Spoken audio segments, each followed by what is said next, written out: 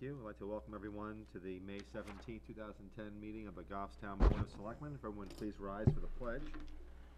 Mr. Fournier, would you please lead us? I pledge Allegiance to the flag of the United States of America and to the republic for which it stands, one nation, under God, indivisible, with liberty and justice for all.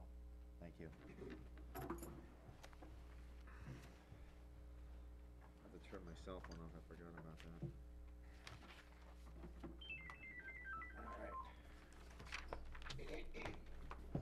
All right, our first order of business will be the uh, acceptance uh, with or without corrections of the meeting of uh, May tenth. I'd like a motion. So moved. Moved by Selectman Devanza, is there a second? Yes. Second by Selectman Pierce. Any corrections from anyone? Steve, Nick, everybody, everybody's good? You good? Okay. All those in favor of accepting the minutes as written, say aye. Aye. Aye. Five zero. Next, uh, any announcements? Just want to, uh, I have one, uh, we have the Goffstown Business Expo on Saturday, and I just want to thank, uh, uh, some key folks. Uh, we, obviously, our two hundred and fiftieth committee was there, and they had helped plan it. Um, hopefully I'm not, gonna be missing anyone. Uh, the Lions Club, and, uh, specifically Marianne and Bruce McKenna, Jim Helene, on our HDC, uh, Elizabeth DeBrule, and I know she put in a, a ton of work, um, Carol Huxell. The list kinda goes on and on. I also wanna thank, uh, the Goffstown School District, because we were able to use the gym, uh, at no cost, and, uh, certainly they provided custodial support. And to thank a lot of our town employees, they changed the reader board signs at the last minute for us, despite the fact that we had a lot of traffic and, uh, road construction issues. I think overall, um, it was a nice turnout. The weather was, was fantastic, which I think probably, uh, maybe diminished the crowd somewhat, but I think, uh, I think it was a good idea.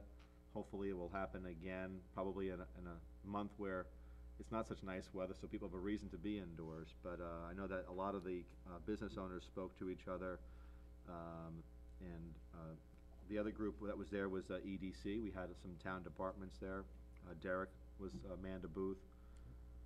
And I know, uh, Dan and Al DeRusso and others were, were, Dan Reedy were, were there to talk to business owners, Main Street. So I thought, I thought overall it was, uh, was very encouraging, and I think it, it'll be a good, uh, kickoff point for us to do similar things in the future, so. Any other announcements? Not hearing any. Public comment? There is no one in the audience at this point, other than our DPW director, who will be up next. We're in the schedule next. Oh, that's just, you just jinxed us. Good evening. Carl, you're here to talk about the compactor. Yes, I am, unfortunately. Um, A few weeks ago, the board uh, authorized us to go forward with um, putting together a bid for a six-yard compactor, a larger compactor than what we had originally planned on. Um, That analysis and recommendation was based on a quote that we had received from um, one of our vendors. Uh, As we developed the spec for that unit, um, we contacted the vendor trying to glean out of um, the spec sheet they'd given us what the important features to include in the bid were. During the discussion, it was realized by the vendor that he had misquoted us. The, um, the price he had given us was a misquote. Um, and that the unit was actually almost double the cost that he'd originally told us in the, in the estimate. So to confirm that, we went to several of the other vendors we've been working with and asked for quotes for the larger compactor, and sure enough, they all came out in the neighborhood of about anywhere from fifty-nine to sixty-four thousand dollars. Um, talking to the, uh, all the vendors again, one, one thing that caught our eye was one of them has, a unit that they're taking out in trade from, from a, another facility, and they're gonna recondition it. And it's a five and a half yard compactor, but it's a double piston compactor, so if you look side by side with the specs for the one that we were gonna put out to bid, um, it's very, very similar as far as performance to what we were gonna go out and look at. So they're telling us that they could get this, uh, installed for us for twenty thousand dollars as a reconditioned unit. The warranty on a new unit would have been twelve months. This reconditioned unit would come with a six-month warranty, so obviously we don't have quite the warranty. Um, but for that amount of money, it was, a- it's our feeling that, um, this would probably be the, the way to go, given the budget constraints that we have to deal with this year and the, the, where we're at. So I wanted to come in and kind of revisit with the board and get your sense. Um, we could, when, when the problem first arose, Sue and I discussed it, and, you know, our first kind of take on it was, well, let's put it out to bid and open it up to, uh, they can offer us a used unit if they'd like, you know, as an alternate to the bid. Um, so that we could kind of pick and choose and see all the options. The problem is these, because these used units are so much less expensive than a new one, they literally get snatched up as soon as they become available. So this guy's already got, since he talked to us, he's got two other people already asking him to, uh, if they can purchase this. And he's kind of holding it for us, cause he feels a little bad that he gave us the misquote on the new one. So I don't know what the board's pleasure is, we can do any of it, any way you wanna go, but this used unit is available. It does look like it would suit our needs. Um, the price from this vendor would be twenty thousand dollars as an additional, we have to drop three-phase service into the building, so there'll be an additional cost from an electrician to do that, to upgrade the panel into the building. But that would have been the case with any of these units we bought, so it's, uh, that's, that's not really a vendor cost, that's a, an electrician's cost to get the panel upgraded. So, I am just here to get a sense of what the board's wishes are. Okay, questions from the board? Phil, we'll start with you. Um, This one's slightly smaller than the, It's a five and a half yard, but it's Right. a double, double ram piston. well, that, that's what I was gonna get to. The other ones were not a double ram, were they? No, it was a single. Now, on a they were double single. ram, do both pistons, uh, operate at the same time, or does one No, they both. work and then the other one's What it- like a high pressure? What it does, instead of one piston in the center of the plate, Right. and then the weight on the plate twisting, there are two pistons that push, and it's, Okay. it packs better and it's a more stable unit. For a wider face. No, just one follow-up on it, but it seems to me that that would probably, hopefully, would put less wear and tear on the pistons or the Yeah. cylinders over time. You would, you would think. Carl, would you speak to uh, the requirement for different binding chains and hooks, and what do you mean by that? What, what that is, is when you, when you put a trailer against the wall, um, and you're pushing with a compactor, you have to hold it to the wall. So we have, our other compactor and all our trailers have a certain system of, um, hooks and chains that we back the trailer into the loading dock, these fasten to the trailer, and it holds the trailer in place while everything's being compacted into it. So what they would do is match the system we already have in place at the transfer station and on our trailers to this new unit, so that's what that is. When the, uh, when the door opening's modified for this compactor, uh, that's where the chains and binders will be installed, so they Right. match the trailers we already have. Correct. And there was an additional cost for that, too. Well, it's included in the twenty. It, it says, it's, I know what it says on here, but Thank he's, thank you. yeah. Have you dealt with uh, this firm before for other matters? Yeah, as a matter of fact, they, they installed the one that we have at the transfer station, and they've, up until a few years ago, have been servicing the one that we had. We, we did find a vendor that was, um, cheaper for service, so we've, we've used a different vendor at times, but these guys have been involved since the transfer station was built.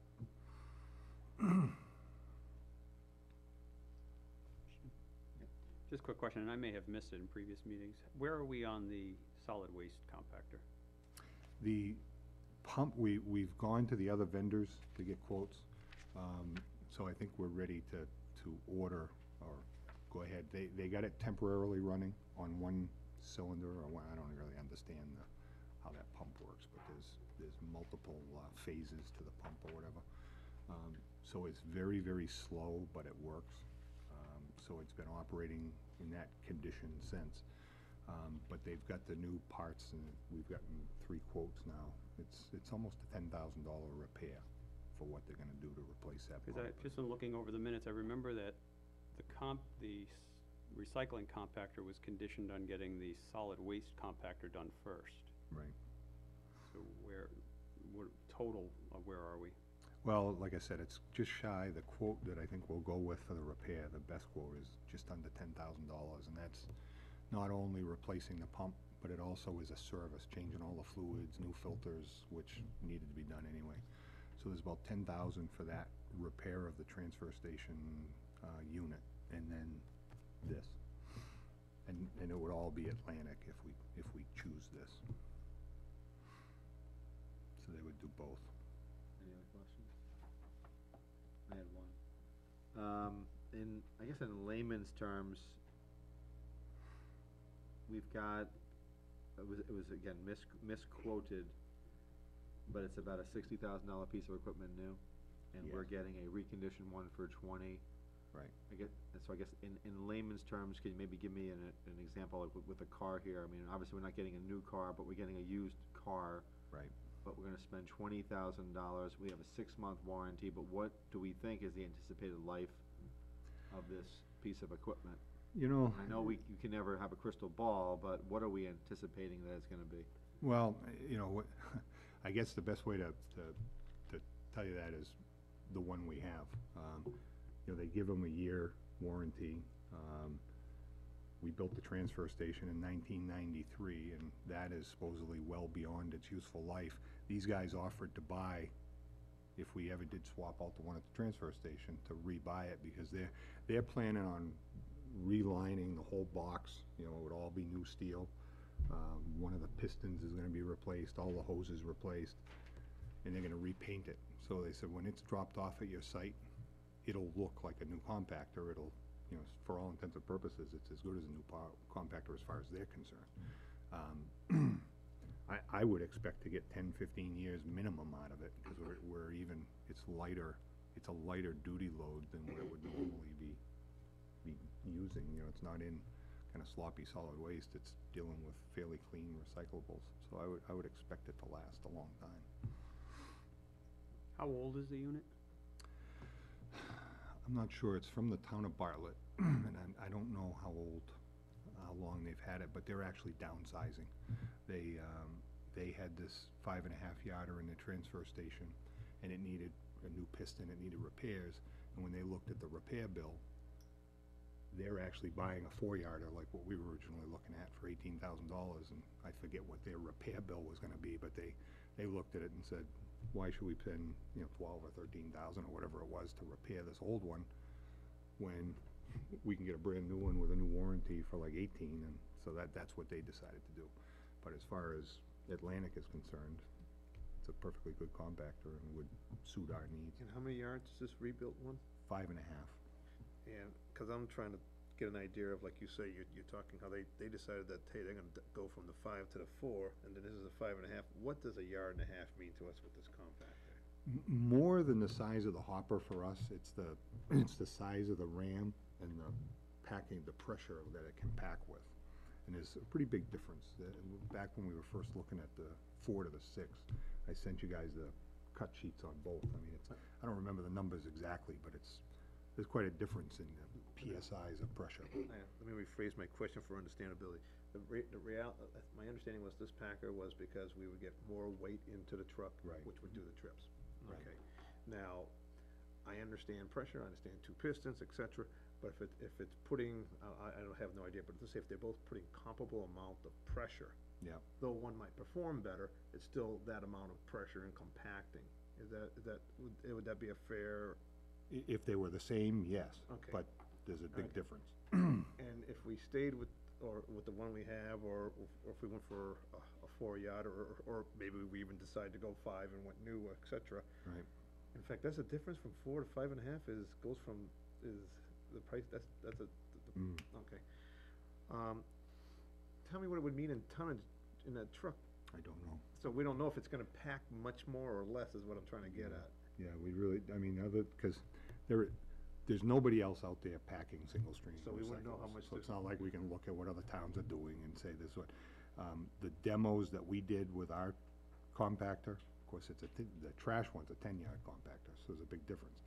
Uh, but we were, you know, we've gotten twenty-four tons on a trailer with the ten-yard compactor.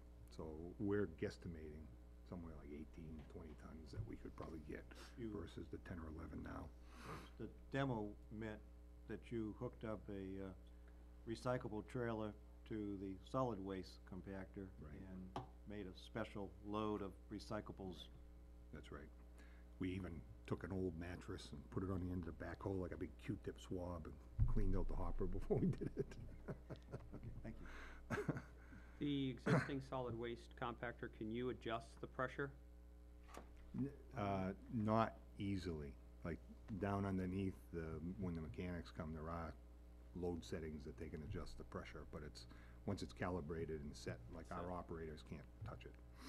I- is the additional compacting force necessary when you're dealing with aluminum, glass, paper? Uh, It- Would the four It- yarder really, would that be able to compact it enough to double our loads?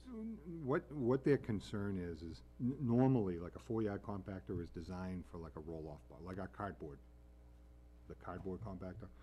Um, so it's not a big can that it's pressing into. With our hundred-yard trailers, the concern is that the trailer is so long and voluminous that it, it, they, they kinda refer to it as, it's like you're trying to push, stuff a cup with a pencil eraser, you know, you just push, push, push, and you're not gonna get any compaction So out the of it. ram face is smaller? Yeah, the ram face is smaller and it doesn't have the pressure to push that long load in. One last question then. Sure. Would it, would it benefit us to go forward with the four-yard one and look into next year, or whenever we decide to go get the one size that you would really like, would it, would it, would it, would be, you follow? Yeah, I, I, I don't think so, because it appears that they depreciate like crazy, and the other thing is, we have to modify the door of the building. This thing gets hard installed, you know, it's gonna get lagged to the floor, the door's gonna have to be modified. Um, so I, I really think we, it would be a real pain to modify it all for a four-yarder, knowing that we're gonna go back and modify it again for something larger later. I, I would just be interested in the, uh, the age of the, the piece of equipment. I think it would make a difference if it's five years old versus ten years old versus fifteen years old. I know it's being reconditioned, but frame, the, you know, the, the meat and potatoes of the machine are, are still whatever age the unit is. Carl, uh, is the compactor exposed to the weather? No, it'll be inside the building. Okay, so we, we have a piece of equipment that's inside. So, I mean, the working components of what I know of hydraulic equipment, the working components and the hydraulic system is in your valves and your pistons. That's what you have to worry about. I mean, the other stuff is pretty much, was this used for solid waste before? Yes. So it was used for solid waste, we're gonna be using it for recyclables, and I think as Carl mentioned, one of the things that we're gonna be compacting is gonna be plastic, so the plastic, I mean, we're not, we're not putting as much of a strain on it as, um, solid waste. All right. Um, we have Selectman Campusano who is, uh, wondering what the, uh, age of it is. Does anybody else have any other questions? The urgency though we have is, it, it's a, it's a piece of equipment that, uh, is said to have been, uh, highly sought after and, uh, one week of trying to find out the age, um, could be lost. So, I, I Um, just texted that question hoping I would get an answer, but I haven't yet. Mike Walton's the one that actually talked to the guy from Bartlett, so it's- All right, um, there's a couple things we can do at that point. Um, does the- anyone want to make a motion? Um, that's one. Or we could wait. What's the board's pleasure? Oh, what's the magic number for age? Right, and then it'd be a contingent vote. And then the, the other thing that hasn't come up yet is the, con- the consequence, the con- well, to me, the consequence is that if, if this is a desirable piece of equipment and it's then sold to another entity, then we do not have that, and now we start from scratch again. Mm-hmm. We would then have to either look for another reconditioned one or go with a four yarder, which, uh, we have been told is s- the, the specifications, uh, probably won't be what we need. Just have a question, how long is Carl gonna be here? Leaving right after this. Oh, is this the only reason? Mm, Oh, okay. my only item. I, I have, I have no problem going forward with the purchase. I'll, I'll entertain a motion then. We're You wanna we're indulge gonna hold, we're gonna hold a second here. Sole source in the wording? Hello there. Do we need, do we need a, the word sole source? Oh, okay, so you don't know. Practice Berwin. Okay, all right. Yeah, yeah, okay, all right, thanks. He doesn't know because Bartlett bought it used as well, mm. so it was in Bartlett as a used piece of equipment, and they're trading down rather than repair it. All right, what would the board like to do? No motion? Did you have a motion? Or no? Before we go to a motion, how much was the new one again? The new six-yarder was about sixty thousand, depending on, you know, which model and features, but we got quotes here anywhere from fifty-eight to sixty-three Yes. When we authorized the purchase of the six-yard one that was approximately thirty-four thousand dollars, uh, um, together with the trailer, we were almost twelve thousand dollars over the various budget lines for the combined purchase, and you felt comfortable that uh, that twelve thousand dollars could be uh, covered by uh, savings in other lines. Um, You apparently don't feel that about gathering, uh, instead of ele- twelve thousand, we- making it yeah. almost thirty-five thousand. Well, we, the savings, we had thirty-four thousand, I think, budgeted for recycling and removal when we were paying for recycling, and so that's kind of the little money we have to play with. By the way, we got our first revenue check from recycling today, sixteen hundred bucks. So, we're now getting ten bucks a ton for the stuff when we bring it to Charlestown. Does the, um, is the board open to the idea of discussing going with the, um, six-ton I'd like to discuss that. and trying to si- figure out what could be cut from the DPW budget in other areas? I think we should discuss it, cause I have, the- I should, the short, I understand the short-term Mm. i- scenario that you're giving, and it makes sense whenever, when, of course, when money's tight and budgets are tight, it makes a lot of sense. The other reality, though, is when we're, this is a piece of equipment that gets used day in, day out, you hope to go fifteen or twenty years, as, and now we're going from a used, from getting it used and reconditioned from, it was used when the last people purchased it, and if I read, in my under, listening to what you're saying, I feel we're purchasing a piece that's going to get us by. In other words, it's not what we were looking for, it's not, and we're not even, you know, though I'm, I'm sure the company does a good job overhauling, uh, the last place has passed on it, and it's not even fitting the design of what we originally wanted.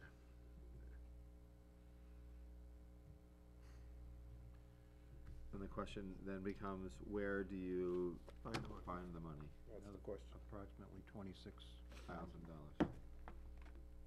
And we're taking on recycles from June sixth.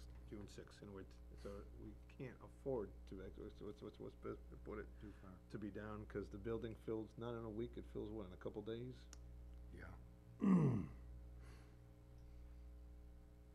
mean, we have, we have other Well, I know, but it's, backup trucks and trailers. All right, I wanna try to move this thing along. Um, is there anyone else who s- shares that sentiment with Selectman Fournier? I do. I do as well. It, Carl, is there, what can be cut in your budget somewhere else to make this work? Well, if you wanna not limit it to, um, the solid waste budget, I hate to say it loudly, but the, the salt line that we, the winter we had gave us quite a benefit in the salt line, so we're sitting very nice there. Of course, we don't know what November and December will do, but typically, November and December wouldn't put a dent. So I expect to have a considerable savings there in the highway side. And we have about a seventy thousand dollar savings in our pavement, uh, Cost. bid that came in, at sixty-two, I think it was estimated at sixty-eight. Of course, But keep does in it mind that escalate? those, Do more. yeah, those It fluctuate, escalates. it all depends what happens over the summer with oil prices, but for the early paving we do, there's gonna be savings. All right, any motions? Yes, uh, a motion to uh, continue with our intent to purchase a six-yard compactor and to uh, increased cost uh, will be uh, taken from other lines within DPW, yet to be determined. Is there, before I have conversation, is there a second to that? I'll second it. Yes. If we don't have the compactor, can we still bring the recycling down to Yeah. handle it? Yeah, it's, um, it, it takes a lot of juggling, but we, we can manage to do it. I wouldn't Well- wanna do it all summer, but. uh, And the for short follow-up to term. that though is that the addition, every time we do an additional trip, there's the manpower attached to it, there's the wear and tear on the trucks, there's the fuel, I mean, there's just so, you know, and then there's the, I mean, when you say manpower, are we hiring an additional person to, to do that trip? if, and the reason I, s- we're not hiring an additional person, but let's say if, if I can, if you have a driver, and he can, and he does four trips, and we can use it for other things within the, within the piece, or if it takes him an extra day or a time, then that's, then that's manpower, be it use it during that full time, or you have a utilization for him somewhere else. But if you add a trip, it's still man time. Mhm. I mean, that's what machinery does, it buys man, man time. So what would we be looking at, I guess is my question with that. I think you hit the nail on the head, every trip's a three hour, How many? it's about three hours round trip. Yeah, we have a fuel cost involved each time we do this. Yeah. And how many additional trips would we be looking at a day, would you expect? Oh, it's not a, a day, it's a week. A Uh, week? I think, well, the compactor was gonna say it cut our trips in half, so you're looking at an additional two, two loads a week without the compactor.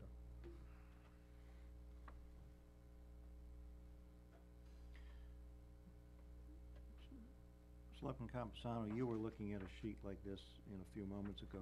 That had the original return on investment number if we went with a thirty-four thousand dollar compactor. What was that number? In red? Six-yard compactor, thirty-four thousand? Wh- Which num, which area are you referring to? Right here, where I'm pointing. Point. You can't read it? No, no, on your sheet. This is a revised Oh, it's a, sheet. I'm sorry, I misunderstood. Yes, I have a one point eight, yes. is that the Well, number you're referring to? Yes, I, I put, in that sheet, I, this afternoon, I put sixty thousand dollars for an expenditure on a compactor, and the return on investment is, uh, three years. So we're going from one point eight to three. I thought you were playing like a lawyer. there for a How does second. that, I if I, try. I how, try how does hard. that equation change if Manchester decides recycling isn't gonna go forward, or they're gonna stop using us? This was a return on investment based on our own costs. So it's not including the revenue Right. from Manchester? All right, we have a motion, um, on the table, and that is to proceed, uh, with the revised cost, uh, of the compactor. Um, and it's been seconded. Any other discussion? Yes, Selectman I would Devenza. prefer to go with the reconditioned one, because the figures that were just discussed, if you plugged in twenty thousand dollars, uh, for the compactor versus the sixty thousand dollars, you could still take ten thousand dollars of that money and use the ten thousand dollars for repairs over the next five years, and you'd still be ahead. Got a little bit of a different piece of math, up a little bit. And I don't have the exact figures, and that's, that's where my curiosity sits, I'll be honest with you. That I try to look at what labor per hour per person driving the vehicle. That, that's on those sheets that. I know, but I mean, but when we start breaking down into if, how many trips we would, in other words, how many trips we would save with, with the six yard, if we take so many trips, so much fuel, multiply it by the week, by the month, does that make the cost of the value of the, of the, of the, Oh, uh, that's what the return on investment is. you, correct. but we don't have that number as far as how much we'd be saving for, for the difference of this reconditioned one and, and the six-yard one, so that's what I'm trying to get at.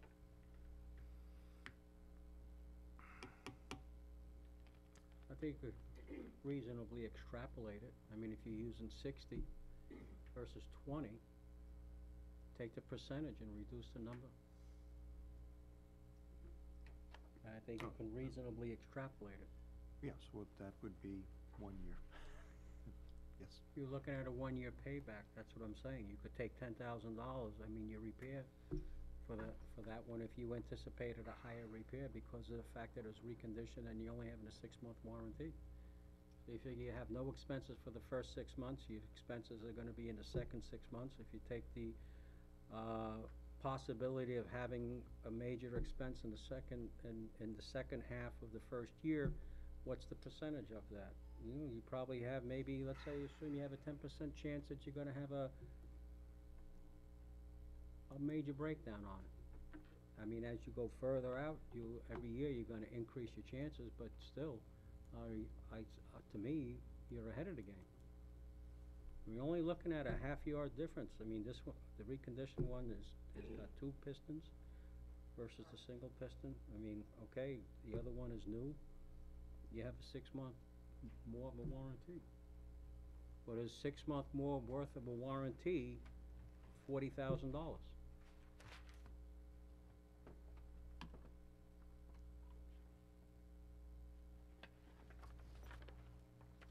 The other point, God, I can't, I can't, I, I just, I, I see, I'm seeing both sides of this, you know, with our, uh, garbage truck and our fire engine, et cetera, if anything, maybe we wanna just limp along with this compactor for a year, even, even if we, even if it's for a year or two, it limps Even if us it's along. three years, I mean, the payback I is, mean, You know what I'm saying, I mean, we do have, we have to keep in mind that if something Risk. goes horribly wrong in some of our other pieces of equipment in the town, this is, this is a, I wouldn't say non-essential, it, it is essential, but in terms of the pecking order of all the equipment that we have in town, Yeah. this is in the bottom This is of, not a health and safety this issue. is not right, right, but so, m- I, I guess my point is considering the other vehicles that we have to deal with. We have a dump truck, we have engine five, well, that's, that's what I okay, just, the that's other what vehicles I- that we have to deal with. are, okay? are more important. Twenty thousand dollar piece of equipment, if we can get by for three years, we're ahead of the game, because it's got a one-year payback.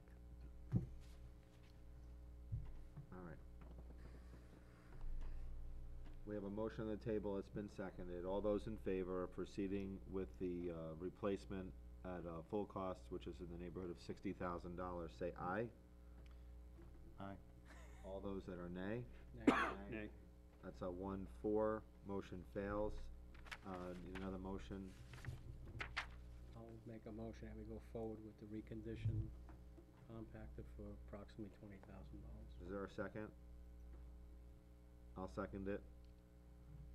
We've discussed this one to death unless anybody else wants another crack at it. All those in favor of, uh, this motion to proceed with the reconditioned compactor, say aye. Aye. All those against? Nay. We have, uh, four, one. Thank you very much, folks. All right, Thank you, Carl. thank you. Thank you, Carl. Let's bring up, uh, we'll skip here to the fire chief. And we have his esteemed colleague, Lieutenant Jesse. Come on up. You, ju- you're just not here to be window dressing, correct? What?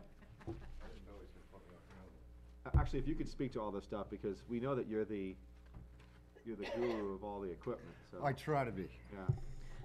Good evening. This is uh, Lieutenant uh, Jess Cook. He's the, uh, he- he's one of my lieutenants that are full-time. Also, uh, I task him on the, uh, on the equipment, on the apparatus to make sure uh, that it's maintained properly and um, we get a true read of exactly the conditions of our truck. Um, The re- the reason why I'm here tonight is, is uh, to talk about both our engine one and engine five. Uh, The, in the warrant article that, that failed back in uh, March, um, was to replace one of the engines. And initially, we're looking at replacement of engine one, uh, because of, of rot uh, that, that was in the fire pump, and the fire pump needed, uh, some significant work. Um, engine one also, uh, was, is, is experiencing, uh, electrical problems, we have some motor leaks, um, and suspension problems. So, all, if you look at the truck, um, as it's parked outside, it's nice and shiny and red, but, uh, it's what's underneath that, that truly ails it. Uh, so, when the article failed, we needed to evaluate, you know, what we needed to do to keep that piece of apparatus, uh, functional for at least another year. And in the meantime, when we're trying to schedule, um, this piece of apparatus for evaluation, uh, we began to experience problems with our engine five. Now, engine five is a nineteen ninety-two E one, it's eighteen years old, um, almost nineteen. And it's of the similar generation of engine one, but a little bit older. So, uh, Lieutenant Cook, uh, then found the, the vendor in Maine, uh, that could give us a true evaluation of both pieces of apparatus. Um, and, uh, they came highly recommended, uh, by several departments in the area and, uh, throughout, uh, northern New England. So we said, well, we gotta give it a shot, um, because what we're looking at was significant repairs for this apparatus, or we being, we're being told by certain vendors that these, these, these trucks truly need to be out of service until fixed. So we, so Jess took both of them up there, and he actually worked with the, uh, with the, uh, folks in Maine, um, hand in hand, going through the trucks, doing a true evaluation, uh, breakdown of, of the, both the uh, mechanicals and the fire pump. So, uh, looking at engine one, uh, that went up first, is they were able to run through the test, and, and Lieutenant, you can, you can chime in anytime. Uh, they found that, uh, with, uh, with the replacement of many valves, uh, you know, we call it tank fill valves, discharge valves that you see on the pump, um, and certain, certain areas of the pump panel itself, they felt that that would be a good temporary fix in order to keep it functional until the end of the year, until the opportunity to, uh, try to get replacement again. So with that said, um, they estimate that the cost of those particular repairs would cost approximately two thousand dollars. So in the grand scheme of things, when we first were looking, talking to some vendors for the complete replacement and rebuilt of plumbing, in the worst-case scenario, um, this temporary fix is gonna cost two thousand versus doing the complete overhaul for up to thirty thousand dollars in significant downtime.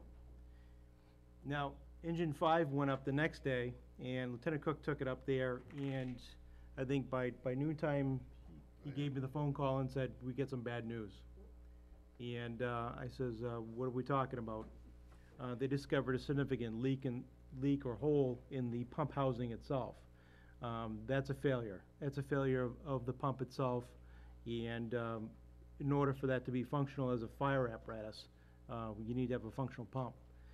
Uh, what could happen is under pressure, that hole becomes, becomes bigger and bigger like a, like a crack in the, in the earth, and then you have a failure. And if you have a crew that's fighting a fighter, fire, relying on that, that pump, uh, that crew is gonna be in trouble. So we have a fi- they discovered a uh, cracked fire pump housing. Uh, the plumbing in it, uh, is, is as bad as engine one, if not worse. In fact, I gave you a sample, uh, several weeks ago.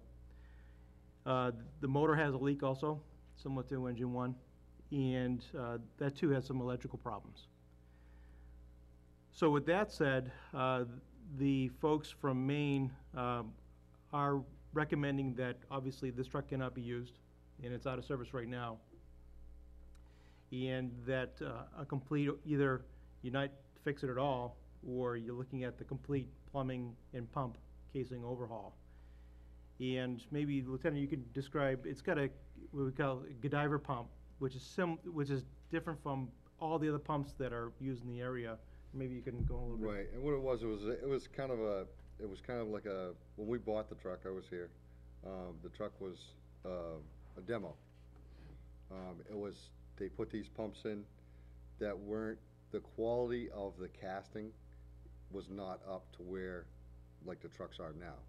It was a cheaper steel that they made the castings out of.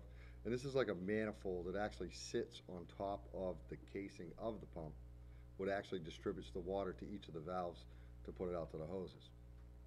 Obviously, we have the hard water is what is eating away at that because it's sitting there all the time.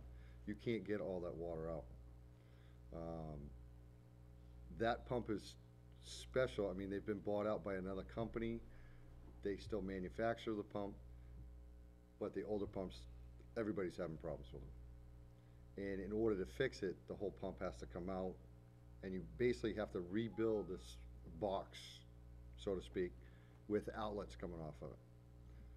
Now they build them out of stainless steel, just because the people that are rebuilding these won't, won't, uh, cover it under warranty if you make it out of cast iron or black iron pipe. They, they just won't cover it. So they go with the stainless steel because of the hard water, it'll last a little while compared to the steel. So with that said, uh, in order to get this truck up to speed, you would talk twenty to thirty thousand dollars just in pump repair alone, and that doesn't address the motor leak, the electrical problems that we're, we're constantly chasing with this particular truck.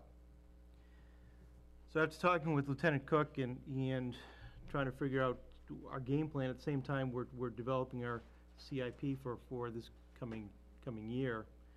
And just doesn't make much sense to pour that kind of money into a truck that's at, that it's the end of its lifespan at this point. So with, with the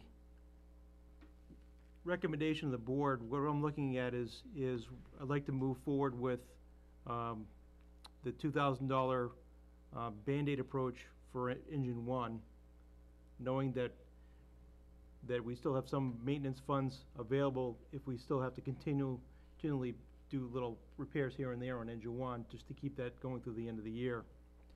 Now, engine five, uh, we would recommend that we don't put the thirty thousand dollars in, because, again, the word I get from, from, from the mechanic is, even after rebuilding this fire pump, there's no guarantees that it would meet certification. They were giving recommendations to downgrade the pump's capacity from, uh, twelve hundred, twelve hundred and fifty gallons per minute down to a thousand, uh, just so they, they felt that that was safer in their comfort zone rebuilding this pump. Um, I wouldn't recommend that because we need, we need higher capacities, uh, with some of the fire flows that are required uh, on the fires that we have. So with that said, um, it, it's tough, it's, it's tough for me to sit there and recommend that we put any a lot of money into this particular truck. Uh, in the CIP plan without, um, letting the cat out of the bag, um, is I'm recommending that we replace both those trucks next year. Um, again, combining with the tanker, um, to basically eliminate this aging segment of our fleet that is causing us heartache and causing us issues. Understandably, it's, it, it's a, it's a significant amount of money, but, um, these problems aren't gonna go away, even if we throw more money at it. So with that said, you know, again, we'll, we'll repair engine one with two thousand dollars to get us through the end of the year. You'll probably wi- wind up, um, continuously do the constant repairs on engine one. Um, not repair engine five, but also look at, um, see if we can get a loaner engine as a backup.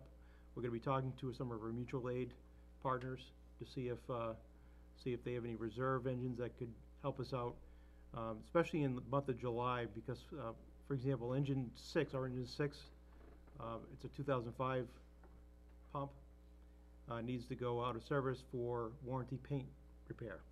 So that's gonna be out for three weeks. It's bad enough we have one engine out, out of service, but if we take two, we, we, we get a problem. For example, a week or so ago, we had a fire on, uh, Pleasant Street, and we had to rely on immediate, uh, call-up of mu- mutual aid, uh, companies, because if this fire became bigger than what it, what it really did, uh, we were gonna need that extra pump in that particular case. Uh, so with that said, that's where we're at. It's unfortunately, it's not very good news. Um, but again, it's, you know, it's it's a truck that's at, all these trucks are at their end of the lifespan, and unfortunately, we're, we're faced with that. And I wanna thank uh, Lieutenant Cook for taking, uh, some time and, and driving these trucks all the way to Maine, uh, to get, to get the job done, and, and, and he was uh, able to work with these, these people to actually, uh, when the hood's up on it, they were able to, uh, point out exactly what was going on with this truck, with both these trucks. Any questions? We'll go around the, the horn. Uh, Chief, as far as engine one, um, is there any other thing that you have scheduled, repair work that you have scheduled for one? For engine one, I think Lieutenant, you were talking a few other things you wanted to touch Yeah, on? we've got some, um, quite a few of the electrical problems are due to the corrosion, the aluminum. Back then, when they were building aluminum bodies, they didn't count on having a reaction between two different metals. So now they've corrected those problems because they've learned from experience. Um, we need to get in there. I've had Mark Urella, DPW, go through the electrical system, and we've eliminated some of them, but there's still some big issues that are kinda like phantom, so when they happen, I try to run it over to Mark, we see if we can find it. He might spend an hour or so, if we find it, we try to fix it or fix the ground, and go from there. A lot of cases with, with these particular units is exactly that, it's the ground, it becomes, it, it finds its own ground or it's lacking a ground. So it's a matter of just, once you find a, an area, you, you create another ground or you try to fix that. Again, it's phantom, you, you think you've got it, but then a, a week or two later, a month later, it, it- it's face, it's facing another problem. How's the engine on it? Uh, they evaluated the motor, Engine one, engine one, engine one has, uh, eighty-seven no, s- is it eighty-seven or it's seventy, Seventy-four. seventy-four, 74,000. about seventy-four thousand miles on it. Um, we did an engine analysis, um, probably about five years ago, and it wa- it looked good, and then we had the Jake brake work done. Um, I don't, we haven't had an engine analysis, actually, to, on the oil itself, um, as of then. Um, it did go into McDivitt's for some work. Um, they did compression test on it, and they said the compression came back okay. All right, I guess the reason why I'm asking the questions, because if we have the others out of service, the other two, engine five and the other one out for its schedule, is this the only one that we have that we have to depend on? I mean, that's why we're looking at a loaner? Because we really can't depend on engine one. we still have, we have what we call engine four, and, which is the freight, Freightliner, and we'll have engine one. So there's our two that we have left in town. Again, we really, we des- desperately need to have that third. We wanna make sure we have a third in service. Right now, you know, for example, if we have an engine go down for just general maintenance, we're down. Uh, so that's, doesn't put us in a good spot. Thank you. On engine one and five, if I hear you correctly, you were estimating somewhere between thirty and forty thousand dollars to do a full, all the s- repairs you would, you're anticipating. Either, That's, It's about right, but, the- Somewhere. the- again, so, uh, I'm gonna put you on the spot. okay, Uh, if you had forty thousand dollars, which engine would you repair? One or five? Either one. Well, it's, it's a trick question, because you have, uh, mechanically, you have other issues that, that pop up. For example, you have on engine five, you have that specialized pump, and you don't know if it's gonna work if you rebuild it. They may say, well, we can certify it to a thousand gallons per mi- thou- thousand gallons per minute, so it's not really the truck you used to have, but it works.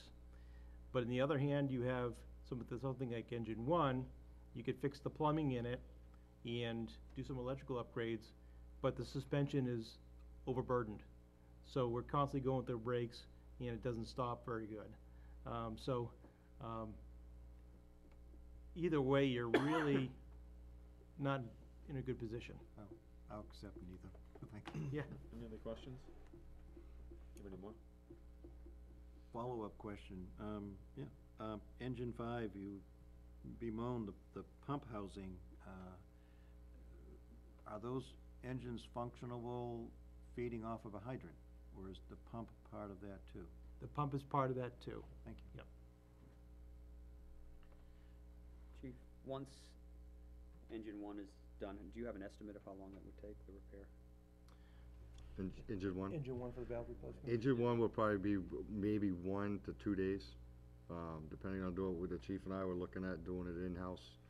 Um, some of them can be replaced, they're right on top, um, that we can do.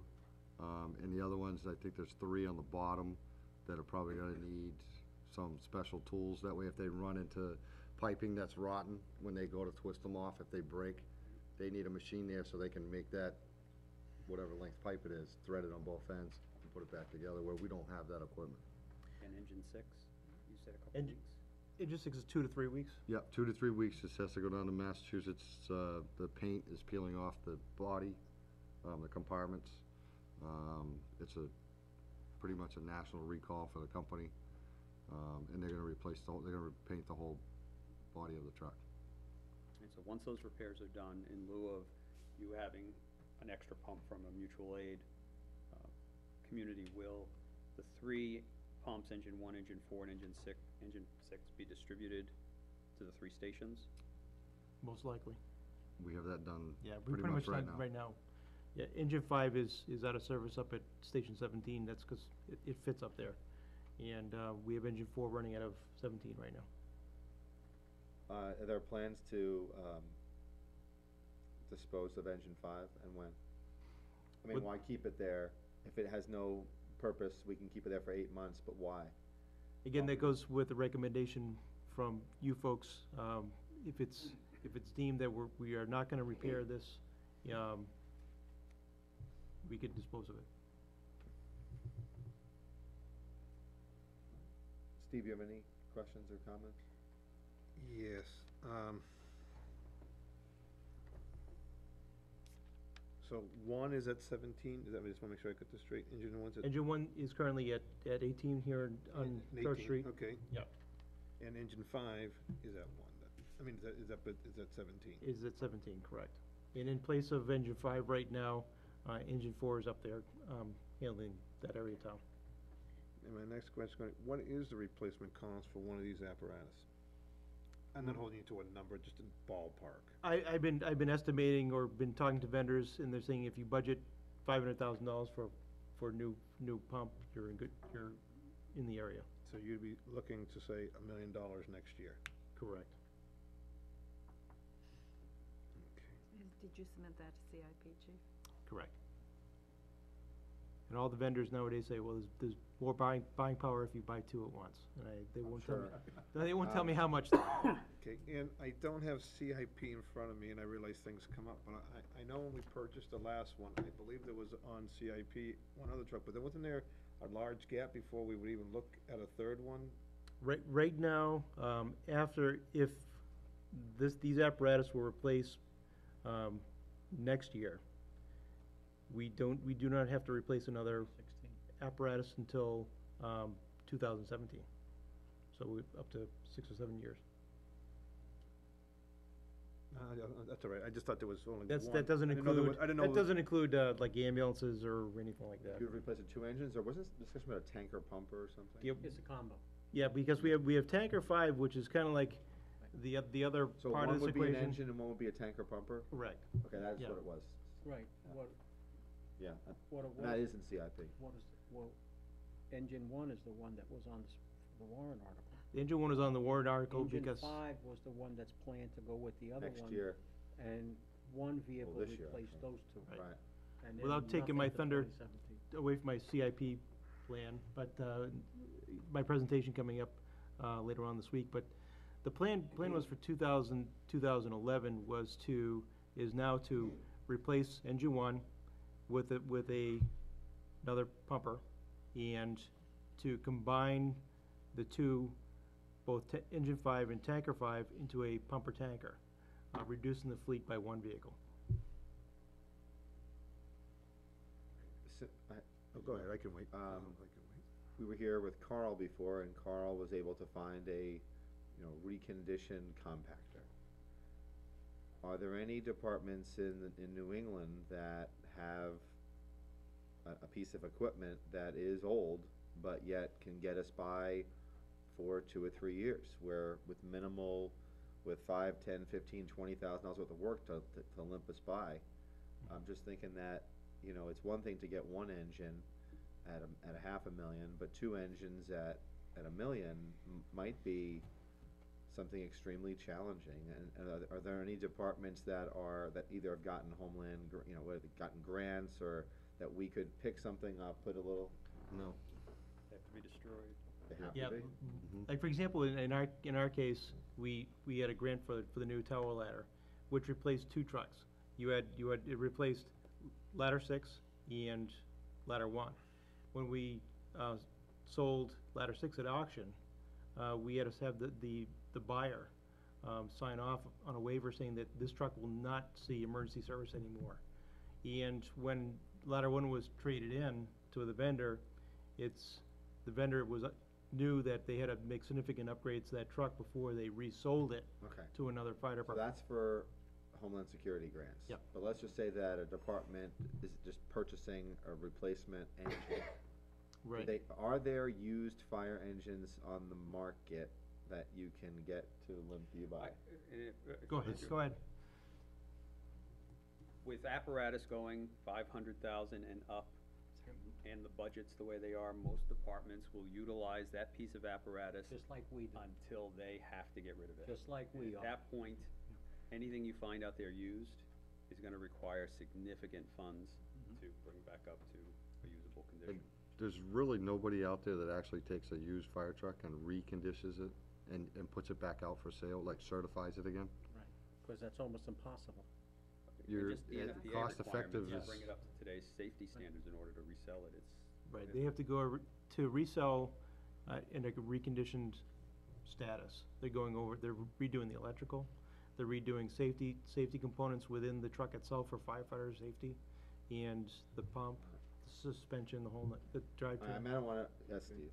I'm just gonna throw it out there. In December, people will be opening up a very large tax bill. And I don't know if this is one of those items that's gonna pass when you put it on a ballot. And, and I, in fact, I would highly doubt it, to tell you the truth. And so, that, that's kinda like that catch twenty-two, where you're saying, hey, mission critical, they're, they're warned, but the reality is, I don't know if the town is, would be voting in this process, so I, and so sometimes I wonder about the repairs and what we should be doing here. In other words, if to do a temporary repair or partial repair, and then next thing you know, we, we, we, um, it, it goes out and the town votes on it, I, I just don't feel that strong that, that the town would say, hey, let's go past a million dollars in, in equipment, especially after what happened last year.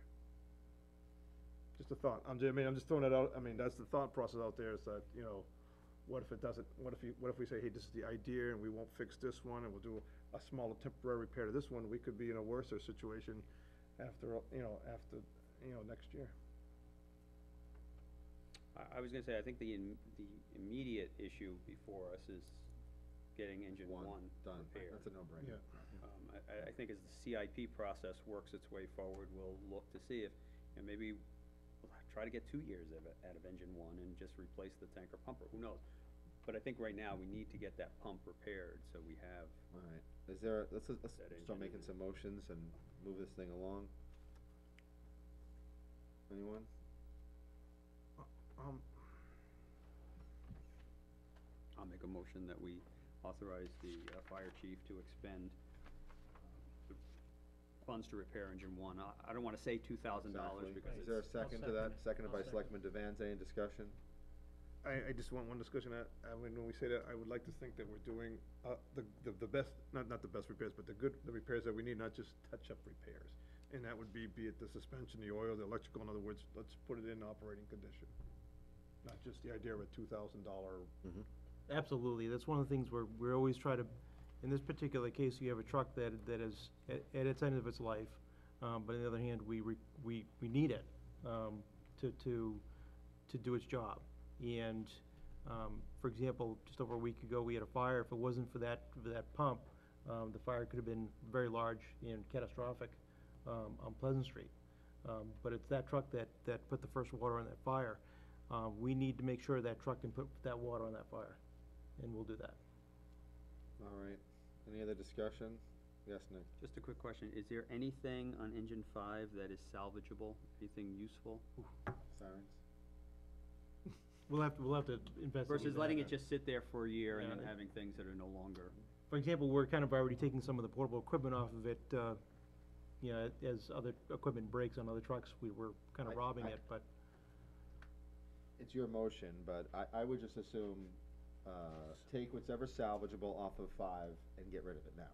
I mean, let's just not keep a piece of equipment sitting, you know, collecting dust, and there's no need, we, we've already had that issue with some other, I just assume we don't need to keep it. We separate the Uh, motions? thank you. We could that's what I'd sep- like- I'll- yeah, That's what I'd like to fine. see. Yes. Okay, all those in, all those in favor of, uh, the motion, which is to, uh, perform the necessary repairs for engine one, Can we um, put pro, you're saying necessary and proper repairs? necessary Okay. proper repairs, that's what, that's what it was. Um, all those in favor say aye. Aye. Aye. That's unanimous. Anything with regard, respect to engine five? Just a quick question, is there any conceivable trade-in value? I mean, is there any reason why you'd wanna hang on to it until you purchased another pump? I would, uh, you know, I wish Carl was still here, I'd ask him what the, uh, scrap price is for aluminum. Cause it's, metals is pretty high right now. Let me ask you a question, I know it's probably far cry, but AFG grants are open until the twenty-eighth. And I know we just got a brand-new truck that reduces the age of our fleet, but does having this piece in the fleet, even though it's out of service, increase our odds of potentially getting a what, grant? what hurt us, we, because we got turned down for the AFG grant this past year for a pumper tanker. We were turned around, turned down, and the reason why is, from what they say is, they, excuse me, they measure your need of your, in the overall scope of your fleet. So they look at a s the similar type and what's the newest in that similar type. So in our particular case, um, a similar type is engine six. So it's a two thousand five, so that kind of excluded us. Now, if it was t- ten years old, is your- your newest piece is two and ten years old, it probably kept us in the running. But in this particular case, uh, engine six kind of booted us off, um, the running. Um, that's the reason why we did so well with the ladder grant, is because both of our ladders were, were quite old, you know. So I, I don't think keeping it will help us or hurt us. I think what hurts us is engine six.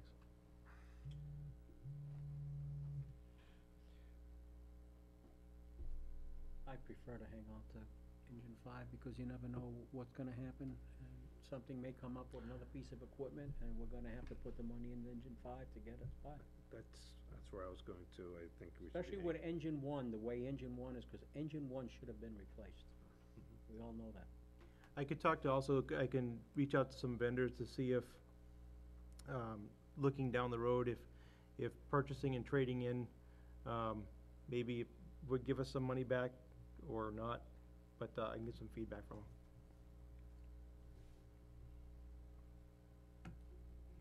Just so I have an understanding, with that being said, if, en- if we would hang on to engine five, but it would not be used, Correct. and we would store it where?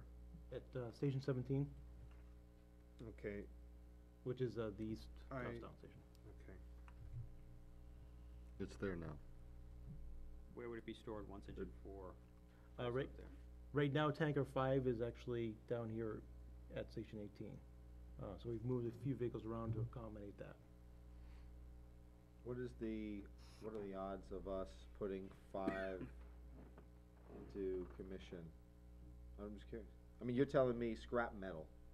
To me, that sound, that's, that, that's like we're putting, Well, I was Something in- comparing it to what it would be worth to sell it, right. or uh, scrap.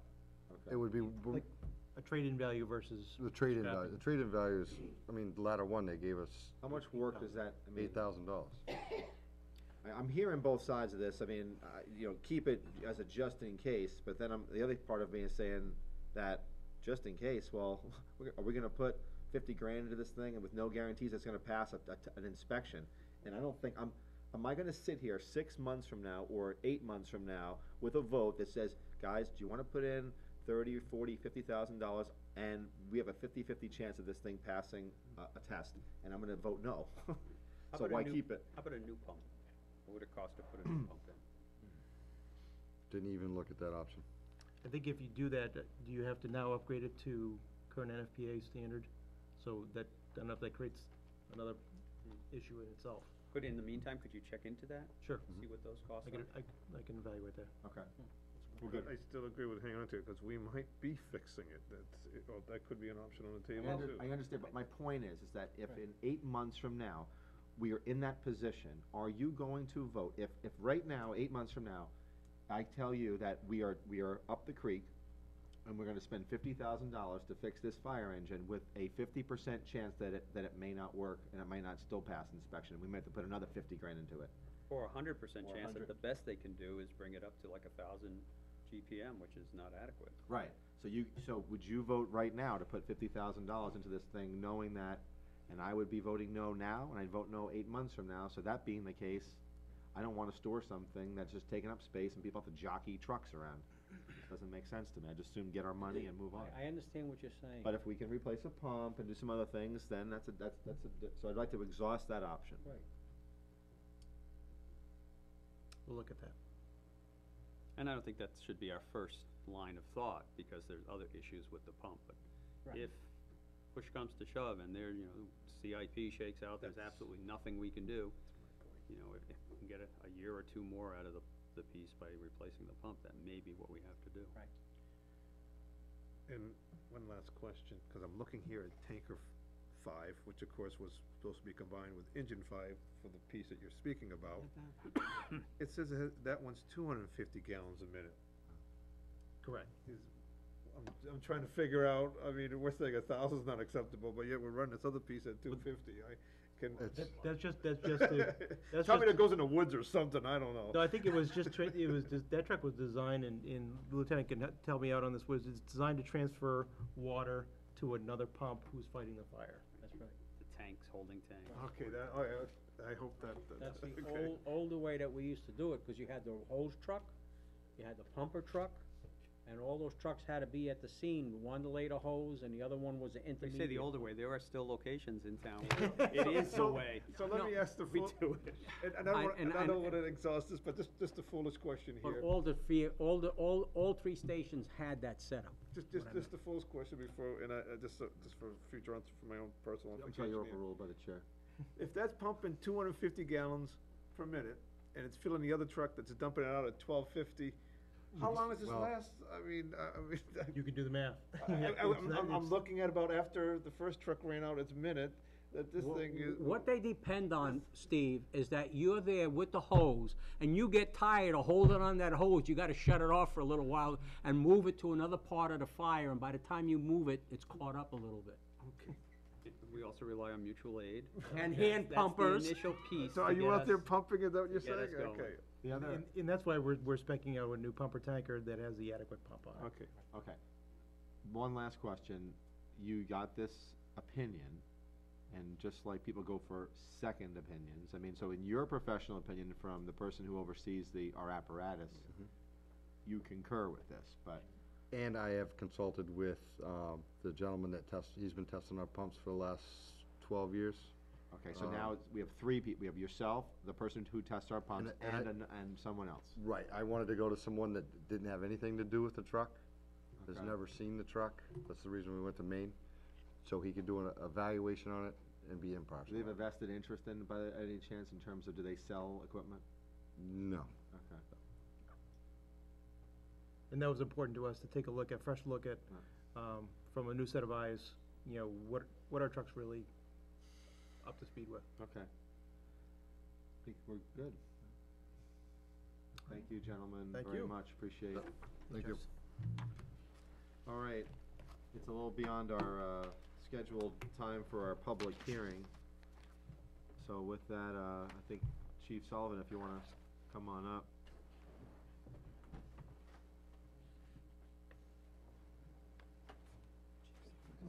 Public hearing for the fire? What? Well, it says also an emergency management, so I, That's the grantor, yeah. so, we have a Are we- are public, we- okay.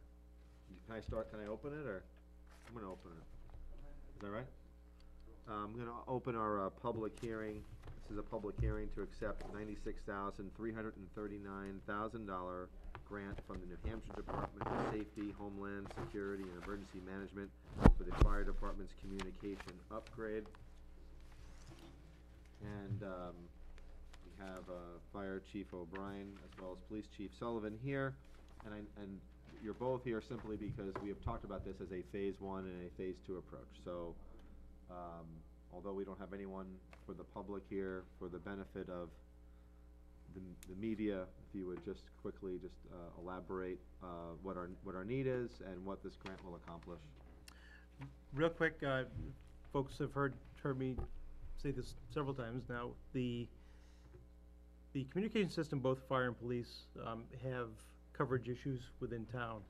Um, and when we looked at, uh, how do we approach a solution to our problems, uh, we, we basically looked at her, said, at each other and said, do you know anything about radios? And, and we said, well, not really, um, other than, you know, the, the day-to-day operations.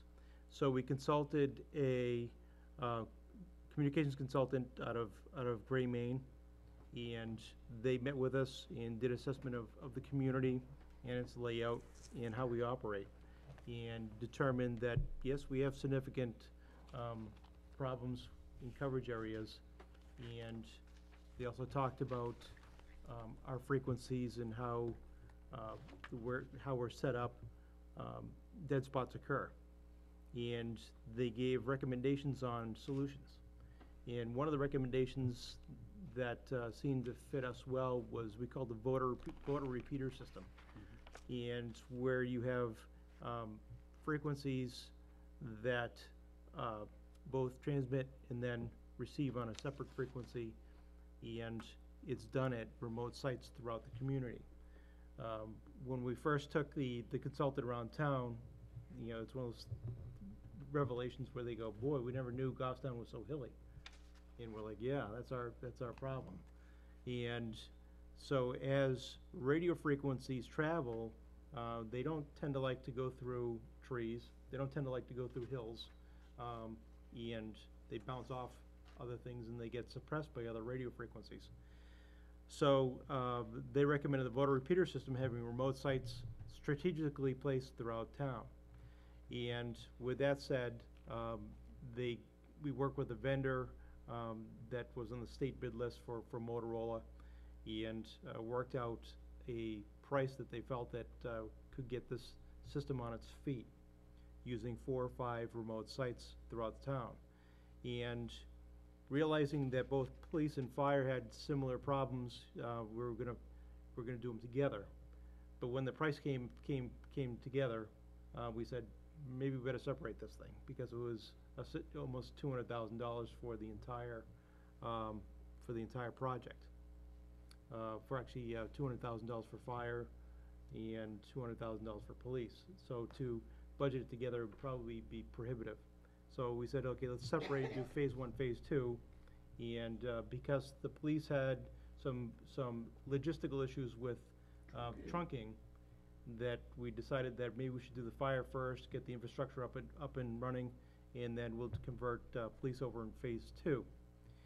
Uh, looking for, uh, we're always looking for grant opportunities to help pay for us, pay, pay for projects like this, is, uh, we look to the Department of Safe Homeland, uh, Safety and Homeland Security Emergency Management in the state of New Hampshire, and what they have is a, uh, emergency management preparedness grant program.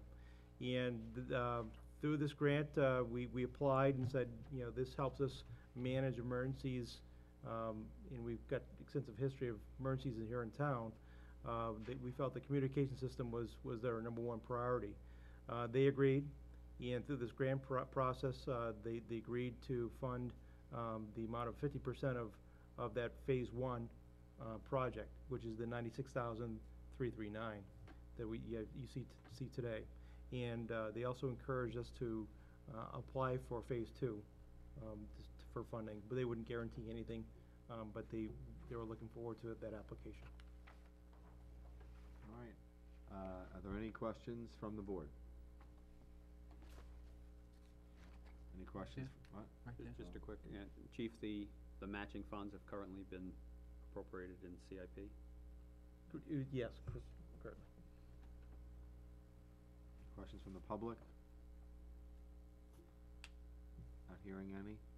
Then, uh, we will close the public hearing, uh, with respect to the ninety-six thousand, three hundred and thirty-nine thousand dollar grant from the Department, New Hampshire Department of Safety, Homeland Security, and Emergency Management. for the Make- fire department's communication I'll upgrade. make a motion to authorize the, to go forward with accepting the grant. To Go Second. forward with the project. We have a motion to accept the grant, uh, by Selectman D'Avanza, seconded by Selectman Campusano. Any other discussion? Not hearing any. All those in favor of that motion say aye. Aye. Aye. Aye. Aye. That's unanimous. Great, thank you. And we hope to have the RFP, um, in your hands the next week or two to, for approval. All right. Thank you, Great. chiefs. Thank you. Next is our uh, town administrators report. We have one, Oh, I'm sorry. the first of two for the yield. Oh, that's right, right, right, right, right, right. Yeah, let me just get. I got it right here, yeah, yep. That was on, uh, Five. yeah, I got it right here. Second item. Yep. Okay, our second one, and thi- this will be the first of, of two. Yeah, that's Next next week. week, That's next week. Next week and the Okay. following week. and two weeks from. Next week, I'm advertising a public hearing, and that will be to establish a yield sign, uh, yield right-of-ways on Cove Street and on Chattel Avenue, both on Lynchfield Park Road, in accordance with RSA forty-one colon fourteen B. The first of those hearings will be on, uh, May twenty-fourth, and the second one will be on June seventh. We just tried to save some money in advertising, to Okay, put them in the same legal ad. okay. Moving on, town administrators report, weekly meeting schedule, Yes, budget committee's tomorrow night. that's at the Oh. police station. Yes. It's the tour, it's It's correct. a tour. At Right. PD, Right. okay. Yeah, and I it's didn't have noticed that. that way. And the library trustees of the library. Parks and Rec Commission, Parks and Rec Center. Uh, Those two, last two are on Wednesday. Thursday is the two hundred and fiftieth anniversary subcommittee fundraising and publicity. That's here. And CIP at seven o'clock. Consensus folder tonight includes AP warrants, employee status reports, including a new hire uh, in the fire department for call EMT, paramedic, and per diem. Uh, resignation in the fire department, seasonal labor in DPW, and, um, an engineering intern in DPW. Event permits include several, um, library events, Make a Splash with Trucks at Cemetery Field on June twenty-third. The summer program kickoff, family picnic at Barnard Park on June twenty-fourth. The Skywatch at Cemetery Field on June thirtieth, and Water Fun Party Finale. Um, two sessions for different age groups on July 29th. The Memorial Day Parade on May thirty-first, and Emily Stroll and Jude fifth. Motion to approve. A motion to approve the consensus folder, do I have a second? Second. Seconded by Selectman Campusano, all those in favor? Aye. Aye. Aye, unanimous. Assessor recommends and, and, uh, recommends the intent of timber cut for map four, lot fifty-one three, map six, lot sixty-one and sixty-three one. So moved. So moved, seconded by Selectman Pierce, all those in favor? Aye. Aye, Aye. five zero. Aye.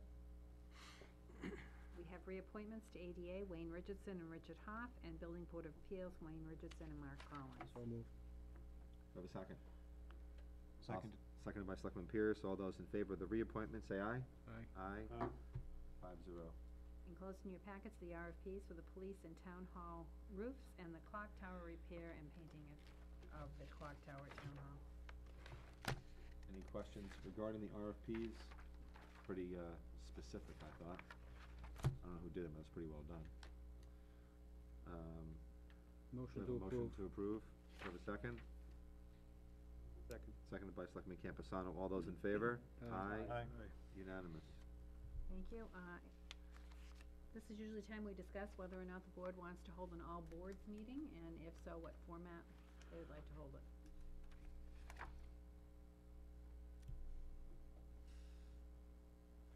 Steve, what do you think?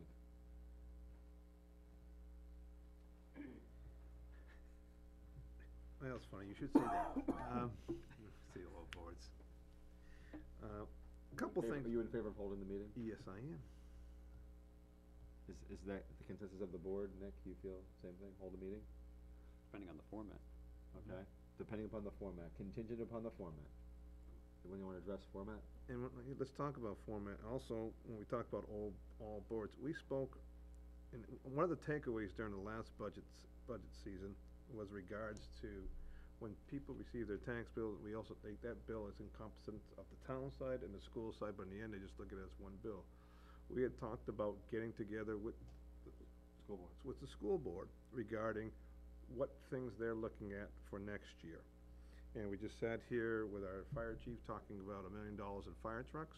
Uh, recently in the paper, they were talking articles regarding, uh, schools that they were receiving, there be more downward pressure from the state, and receiving less. I think we need to be discussing what, what they're planning and thinking for next year and also what we might be going for. We're already almost halfway through the year and I think, um, I mean, instead of once again waiting till in the fall and discussing what, what, what, uh, both groups are gonna be looking at.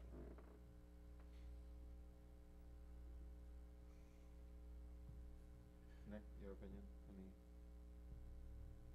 I said I was in favor. You know, favor, uh, you talk about format though, you were, that was, Yeah, I, I would like to see a discussion format where the boards are discussing not, Um, not, a- not a presentation versus where they each, just. right. exactly, um, which they had gotten to be a while ago, where each board chair or whoever got up and just basically said, this is what we're doing this year, and uh, it proceeded in that format. I would like to see a discussion between boards.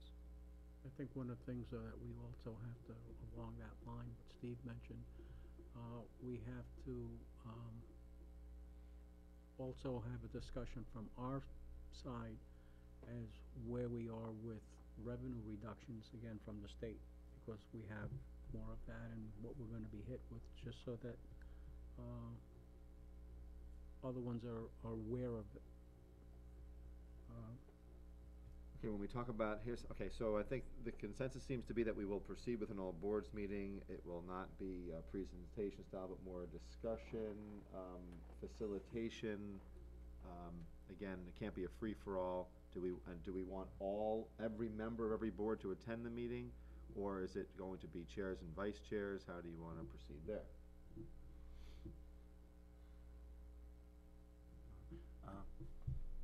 My preference would be the chairs and vice chairs, uh, but I, I wanna go back one step Sure. and pick up, uh, Selectman Fournier's comments. Uh, are you, are you suggesting we have two meetings, one with our department boards and our town committees and boards, and then a, a second one later in the summer with the school?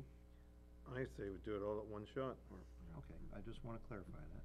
I think in the, Typically, we do invite the water districts Right. and the school district, um, as Sewer. well as our Right. commissions. Yeah, I would, um, I personally would like to see the chairs and the vice chairs. I think, uh, it might be too unwieldy if we had everyone there. It's a public meeting, which, which means that anybody can attend, but I think if, uh, those that are going to speak are gonna be the chairs and the vice chairs. I'm comfortable with that if it's televised, that's fine with Yeah. me. Or whatever designee. Or is- designate, right, I, yeah. I mean, if, the if the chair or vice chair is out of town, then there's another designee, that's fine, but I, th- I just don't think we can open it up to having, you know, everyone. And I think, um, I think our board should facilitate it with, uh, a focus on what some of our goals are. Uh, we talked about, you know, increasing communication, and I certainly think that Selectman Fournier's point with regard to budget is an important one to have early in the process, not, not in, uh, November or December. And, and I think, you know, I, a, a fantastic takeaway just from this evening, and I'm glad it all worked out, uh, was we operated a little bit in a, in a silo tonight, in the sense that we first had a discussion about a trash compactor, uh, recycling compactor, and then on the heels of that, we had, which I did not, you know, know, because it wasn't in our materials, the extent of fire engines. So, I would have, I mean, we, we, we luckily went down the right path, but in this, in, even in, an environment in which we control, we may, we might have made a decision that would not have been the best decision, because we weren't communicating, and I think we did end up making the right decision. But the more that we can have these conversations with other boards, I think the better off we're gonna be. We might not always make the perfect decision, but we'll make at least a well-informed one. Um, timeframes within the next, uh, when do we, when is this usually done? Usually before school gets out, so that people are still around. And not away And we'll do it at vacation. the, l- I would assume the library, the information Mhm. center?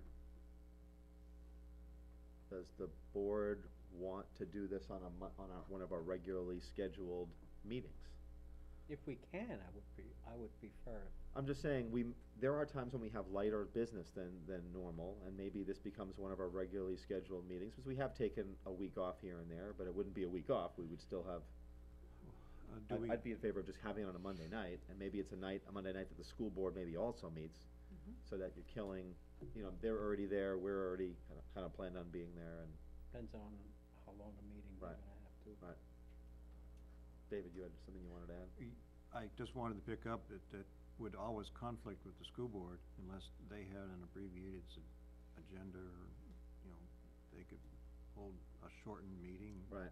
and Well, I think Sue can have that discussion with the superintendent's office and, um, I do think that in preparation for this, um, I think we do want to talk about, um, some of the items that you just mentioned, you know. We do go through that whole CIP process, but not every selectman and every single board member of every single committee goes through that. But are there any major expenditures that you are envisioning in, in the next, you know, next year, you know, or the year after in the short run? Um, are there any decreases in revenues, um, or, and or increases in revenues, any revenue changes, you know, that you're anticipating, uh, in the next budgetary cycle? Uh, any staffing changes, um, I mean, and it's gonna be more than not just a surface conversation. I mean, looking at the increases coming this year, we need to be very cognitive of what next budget season is, and- cause you, it cannot be followed up with a second year like we had this year. That's my opinion on that. I mean, we, you could start this process much earlier this year regarding not so much exactly what the expenditures are on, but what will be the total expenditure. Well, and the other thing too, and, and again, I, I just think we have to try to operate, you know, together on this one, but, you know, if, we have to have a conversation, something about fire apparatus or about a communication systems in conjunction with a land purchase, in conjunction with a sewer upgrade, or, uh, you know, these are important, because I don't know if the, you know, the- then the community has to, has to make all these different choices every year, um, which is fine, that's, that's how our, that's how our political system works here, but it would be nice if we can maybe sit down and maybe come to terms to saying, okay, this is a life safety issue and we need to do, you know, minimally one fire engine here, we cannot, this, we can't play around here. Um, maybe we can wait on a land purchase, or maybe there's some other ways of doing things, I mean, had there been greater discussion, and not to put you on the spot, Nick, but about this land purchase, the Roberts Farm, you know, had there been a little bit more greater dialogue between us and conservation, and they would have kicked in some of the money from their fund, that may have had a chance of passing. Mm. It only lost by, was it fifty votes, or, I mean, it wasn't much. Um, and I think that's the type of dialogue that has to, has to be present. Um, So, Sue will work out the dates, we'll try to do it on a Monday, this way. There's no, there's no, automatically no conflicts for us. To, to assist you in facilitating this, do you wanna ask the chairs of every board and committee what they would like to discuss? Yes, yeah. Topics for Yeah. discussion? Yep.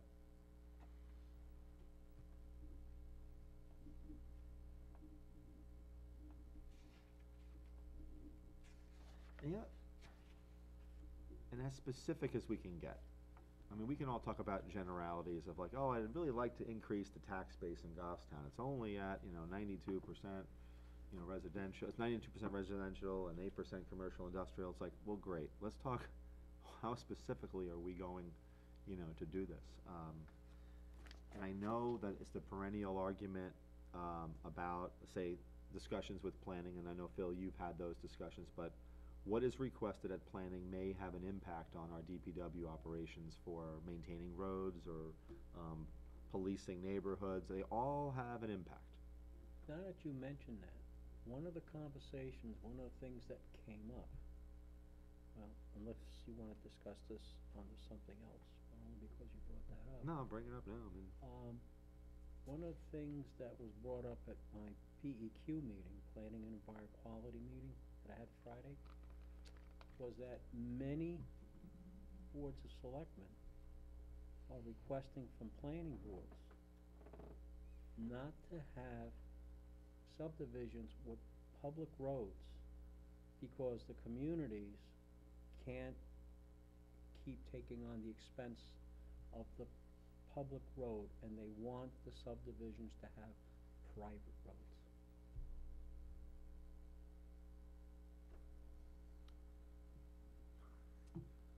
That could be a discussion. at some- at I'm some just- time. I'm just- just, yeah, I'm just saying. I- I mean, yeah. I We- was We have just- other things to do Yeah. tonight. Yeah. No, no, no, no, I'm No, not he, bringing no, it he up was just for- saying that as, uh, a- as, as, you know, I, I, and uh, Sanderson, Paul Sanderson, uh, made a presentation, and that's when this came up, that a lot of them, uh, are, and the, uh, LGC is fielding a lot of requests, uh, you know, regarding that issue. Okay. So it's not just us that's under pressure. All right, and if there's any, s- any of the selectmen who want an item to be discussed, let- then this will be a good opportunity. What, what time would this meeting occur? Would we meet prior? You could have a short business meeting just to approve Right. anything that needs to be approved and then go over to the high school. Or maybe hold it at the Or high hold it school? at the high Or school, hold it, right, yeah. Okay, um, we'll move on then, if that's all right. Notice of award of EPA STAG grant, Sue? Yes, last Friday, we received notice of the award of the STAG grant, the town, uh, must respond in twenty-one days. As you recall, this grant will provide up to three hundred thousand, uh, dollars to, and that's in a match, so it, the max is fifty-five percent towards the water hookups in the Lynchville Danis Park area. This, uh, so I have noticed a meeting, I had to get that in, it was in today's paper, for a public hearing on May twenty-fourth at six thirty, um, so that you can accept and expend that grant. And I- I- Carl is working on the, incorporating the conditions that were in there, um, to the bid specs. Okay, I just have a question, just for, so that it's clear in my mind on this, in case I get questioned on this. Mhm. So what we're looking at is a grant that will provide up to three hundred thousand dollars, providing a fifty-five percent match for water hookups. So that means a resident would be required to pay forty-five percent, the grant would pay fifty-five percent, and it's all gonna depend on the total amount of the cost of these hookups, because if they exceed a certain amount of money, then the homeowner could, I mean, you have to run the calculation, but beyond a certain amount, the, the homeowner might have to pay more than forty-five percent, because there's only three hundred thousand.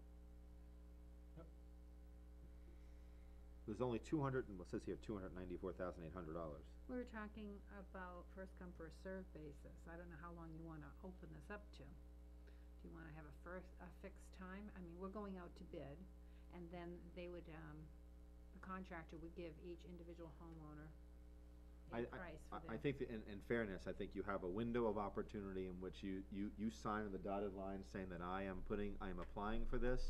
I understand that if I accept it, I, I'm going to be getting up to this, but it may be reduced if there is a high level of participation.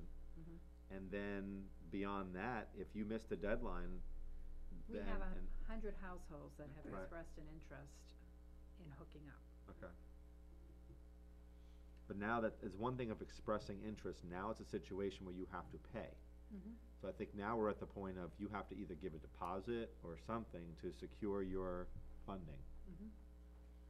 But the mechanics can certainly be worked out. I, I don't wanna micromanage that, but I, I think we're at the point where you have to give them a window of opportunity. And, uh, and then after that, it would be first come, first served, after that time period is up. Being I live down here, should I take a seat over there, or is this just gonna be a quick conversation? it's a quick conversation, Okay. I think. Right, no actions So, required. no tonight. actions required tonight, the public hearing will be held next Monday, at, at which time then you can, you know, be in the public, I guess. All right, next is the New Boston dispatch agreement. Following our meeting with the New Boston officials, there have been some follow-up conversations regarding our communication system upgrade for the police, uh, phase two that was discussed earlier in two thousand eleven, and the IMC software proposal in two thousand twelve. New Boston officials would like to know if Goffstown would consider entering into an agreement at the same rate that was proposed by the town of Bow, For New Boston. for New Boston, yes.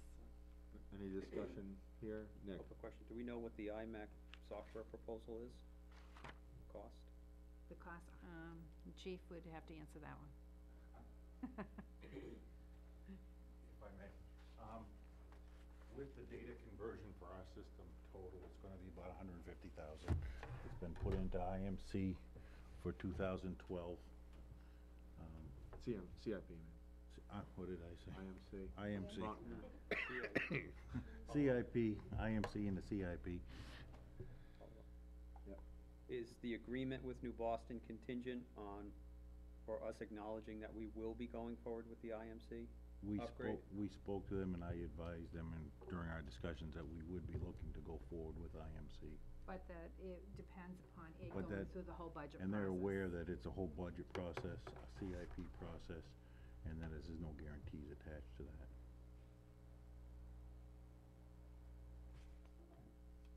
Any questions? Need a motion then? Just a comment, I mean, I, I'll, I'll make a motion, but just a comment that I, I'm happy with half a piece of pie than no pie at all, so I'll make a motion to, um, go forward, um, to enter into agreement with New Boston at the, uh, proposed rate. All right. Is there a second? Seconded. Seconded by Selectman Pierce. Any further discussion? Yes. Just a couple of questions.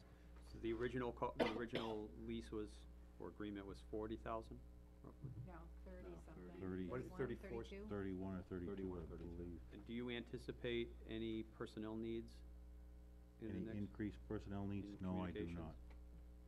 Um, we've been going along, we've got our people in place, and by losing New Boston is not going to reduce our need for those people. No, I understand that. So that's, it's. I mean, if it's things were status supplemental, quo, would we be looking at additional? Any other questions? Not hearing any. All those in favor of the motion signify by saying aye. Aye. Aye. That is unanimous. Thank you. Mary Lou Lease, uh, we- I spoke with representatives from Mary Lou Preschool and Kindergarten last week. They, there appear to be no major issues with lease or occupancy. They are interested in a two-year lease. I informed them that I would be recommending an increase in their share of water from twenty-five to fifty percent, like the other utilities on the same proration. And, um, and that we'd be looking at a moderate increase in rent. Um, so that's where we are. Uh, no numbers were given out, and I don't know how the board wants to proceed on that. When, when was the last time you had a rent increase with them? It's been the same for the past two years. Um, I think that if, that- wouldn't this be a non-public if we're talking about lease terms? Nope. We're negotiating with a, no? It's No. not? No, I checked with LGC, that How do we it's not. calculate the, the lease cost? How do we calculate the lease cost? That's a good question. Isn't it a percentage of our expenses? The, what they pay in rent and in their share of the utilities do, d- pays for what we budget annually for cost at Grasmere. So, mm, just, just make sure I get this clear, then, what is the heating cost then at Grasmere for the year? I didn't bring that information with me, but if you would like to see all that data over the past five years, I can bring that in. Cause I'm looking, we can, as we're speaking, I'm looking here that their rent was somewhere around forty-three hundred dollars, plus they would pay fifty percent of heating costs, is that what mm-hmm. my understanding? Yes, Okay. they pay fifty percent of the oil consumption, cause the first floor is heated by oil. And how do we, They take up half of the first floor, and how do we heat, is the second floor heated? propane. And they take the whole first floor, Half of the first floor. Half the other first half floor. is the meeting room side. and do we heat that, do we, do we heat that side also? Yeah. Separate furnaces. Alright, I think, I think the, the primary, you know, issue here is they are, um, you know, a, a not for, for profit, Right. uh, preschool. And that, that's one component who has been around for 30, 40 years. Couple that with the fact that it's in a building that we own where, I don't know if we're looking to quote unquote make money on it, looking to, you know, cover expenses. You balance that with what is the square foot price in Goffstown for a similarly, if it, if, if the town did not own it?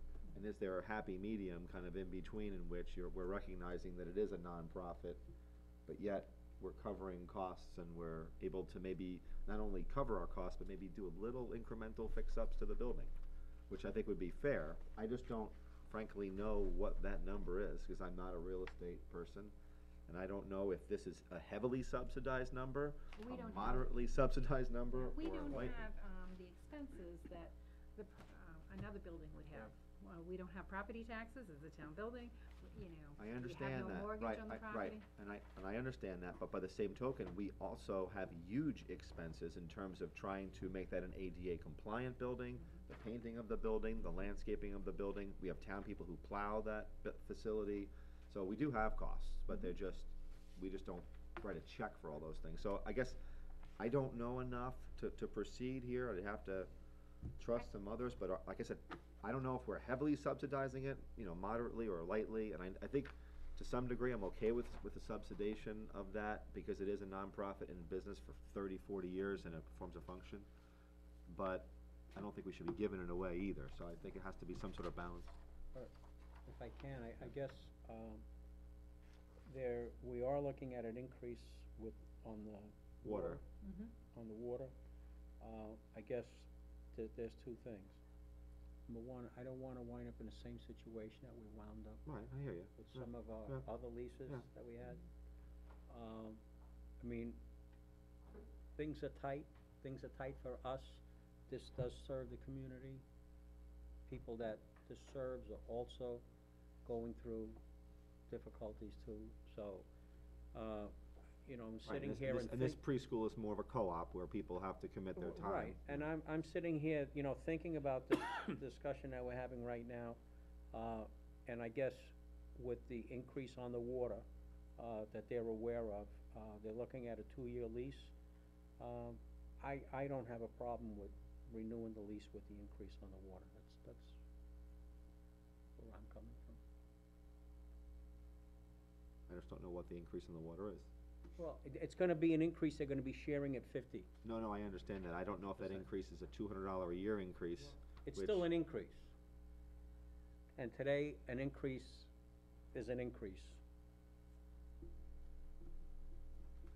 Would the board like further information next week? Yeah, I don't think this is, I, I don't think this is a think huge You- rush. You want us, Yeah, okay, yeah, and then we can also discuss, if Yeah. one, if someone wants to sit down with Sue and discuss it.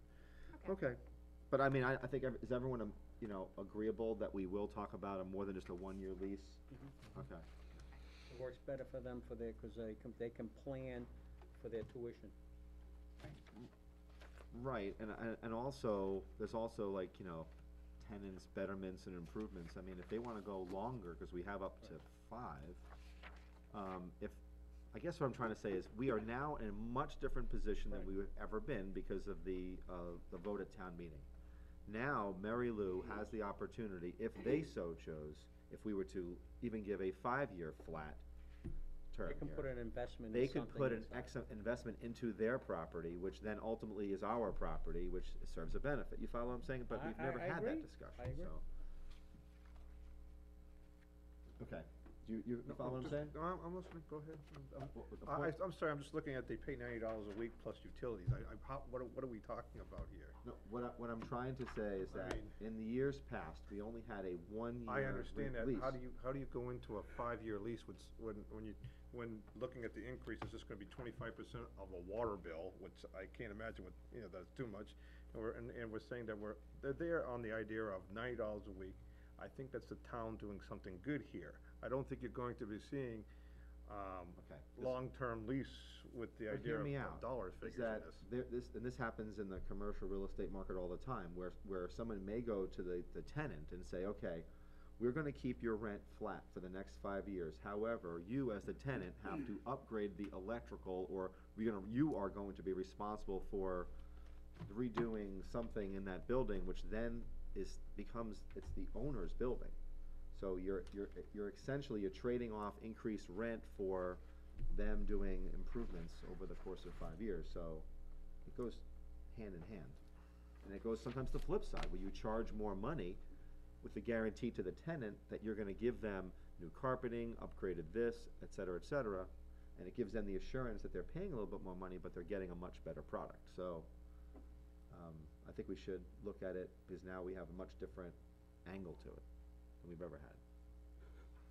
Next is, uh, Barnard Land Purchase Update. Right, the PNS agreement, uh, um, just so you know, we have, the survey has arrived, we have the survey, Carl has reviewed it, seems in line for him, and here's a selectman's copy if you'd like to see it. Um, and he's gonna review it with the Barnards, and we can, remember, we did not have a requirement, but we had a right to do an environmental level one assessment, and if that showed anything to take it further. Um, the historical use of property has been farming. Um, does the board wish to invest in a level one environmental study? What's the cost? Probably a few thousand. we ever had one done before? The library had one done on the parcel that they bought.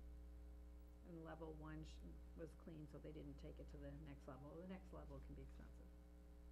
Who, if I can, Yep. um, what is the requirement of the person who does this level one assessment?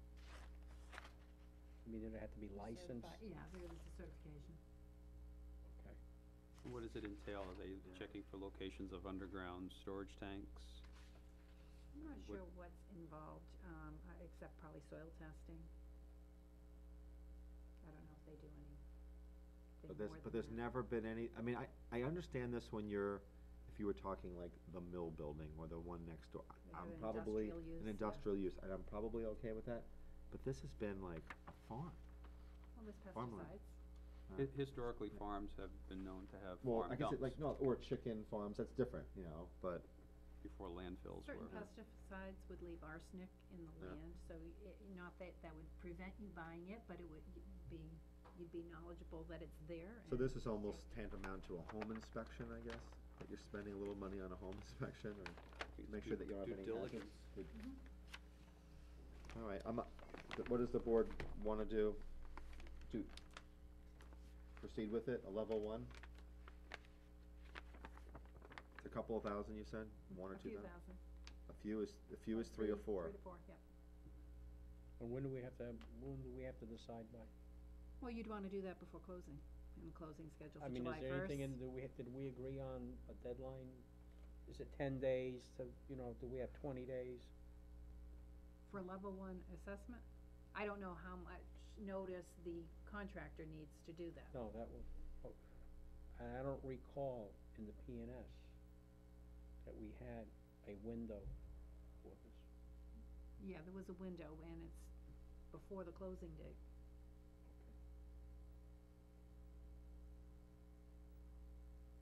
What does the board wish to do?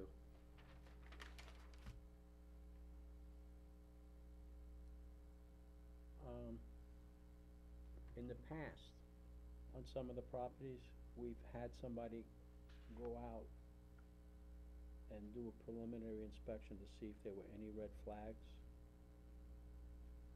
My recollection was to see if there was any reason why we needed to go further inspection. You recall? You're talking something different, and you're talking about when we do, um, considering tax deeding. Well, how do I put it this way, when you do it, let's say a purchase and sale on a home, like nowadays you have to sign off, like saying, okay, that there is no lead paint or this, I mean, wouldn't it be satisfactory for Mr. and Mrs. Barnard to sign off? That, that, that they, that there was never any illegal dumping or this pest, you know, I, I think if you do that, and then, and Another then, option is to I'm just have saying, and the then from perm- there, it- based upon, like a disclosure statement, and then from there, then maybe we do it, but if there's, if they're, if they're gonna sign an affid, uh, whatever, not an affidavit, but if they're gonna sign off saying that at no time did they illegally, you know, Actually, Attorney Drescher has suggested in lieu of a level one, that you Yeah. may wanna get some kind of disclosure statement disclosure from the, statement, that's from all, the current owner. right. Have- Have there been any, ever been any structures on our portion? I- Not that I know of. And a lot of that, I mean, if you look at it, it's, it's, uh, DeVriendt Farms was farming on Renting, it, was renting it. I would be I fine. blocked that. I'm, I'm, I I'm would be fine with the disclosure. Uh, I did see Mr. Barnard this past Sunday, and, um, he said that he would love to give the board a tour. However, he is- has a little bit difficulty getting around, but he said anytime that the board wishes to, um, you know, take a walk of the property, just, you know, give him a call, you're more than, he said you're more than welcome to do that. So, No, can I just make one Yeah. suggestion? If we're gonna do it, perhaps we do it more than, instead of having three people call up. do it all and one ask- time, right, right. Coordinated through Right. Sue? Yeah. or Through the chair? Yeah, I, I have no problem with the, uh, Disclosure? disclosure in lieu of, uh, Right. level one Okay, assessment. So the consensus seems to be disclosure. Okay. Does, the- Yeah. does, does anyone on the board wish to walk the property prior to the purchase? And if so, Sue can set up a date, um, with, um, I see Set up a two- date, and if I can make it, I'll Okay. make it. yep, same thing with me. Okay. And me. during the day, weekends? What's your preference? A nice Saturday morning stroll would work for me. Saturday morning? Yeah, I'll go. Okay.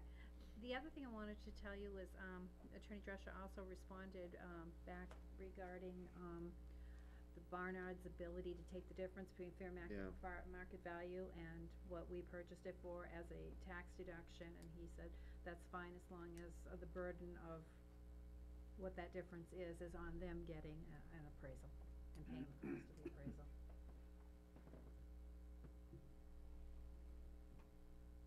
I'm good, Is everybody okay with that? I'm good with that. Okay. Do you need a motion on that, or no? Nope, as long as good. everyone's good. Yep. Consensus is that everyone's fine with that? Go around? Yes, that's the consensus of the board. Thank you. Um, last week, the Board of Selectmen requested information on Glen Lake Beach. One, estimate the cost of a seasonal person to monitor the beach.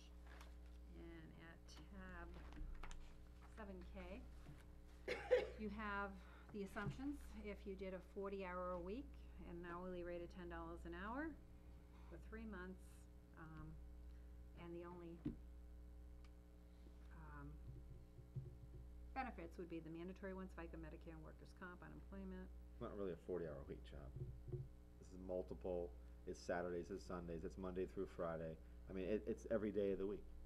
That's my only, I think this is skewed a little bit, because it's a, it's a Well, we had two, to base it Well, I on something. requested just Oh, forty no, hours, okay, and then you can all right, extrapolate yeah, it from there. yeah.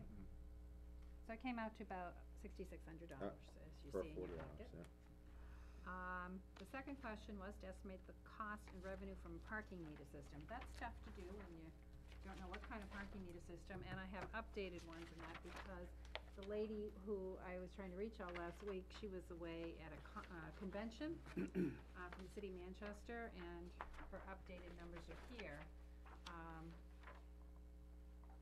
she reports that the, if you did individual parking meters, um, we saw refurbished ones, that doesn't include installation for hundred dollars each, which would be sixteen hundred dollars, cause you have sixteen of the eighteen parking spaces you can charge for, cause you don't charge for the handicap spots.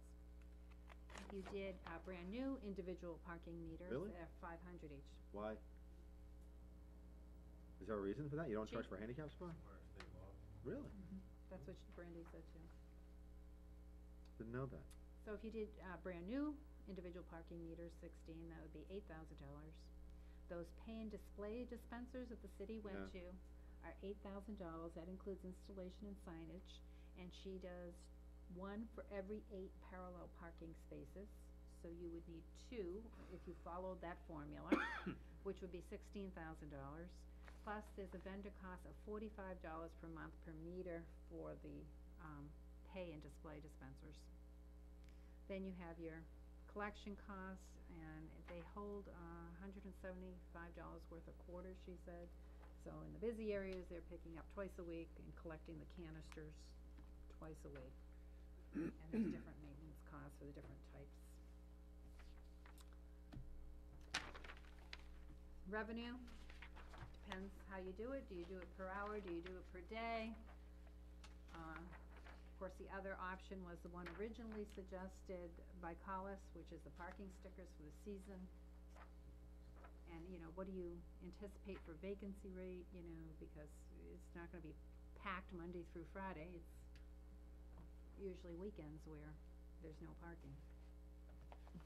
So you have the different scenarios there. All right. Third question was increase in strategically placed trash receptacles. I think you have Carl's response to that one in an email.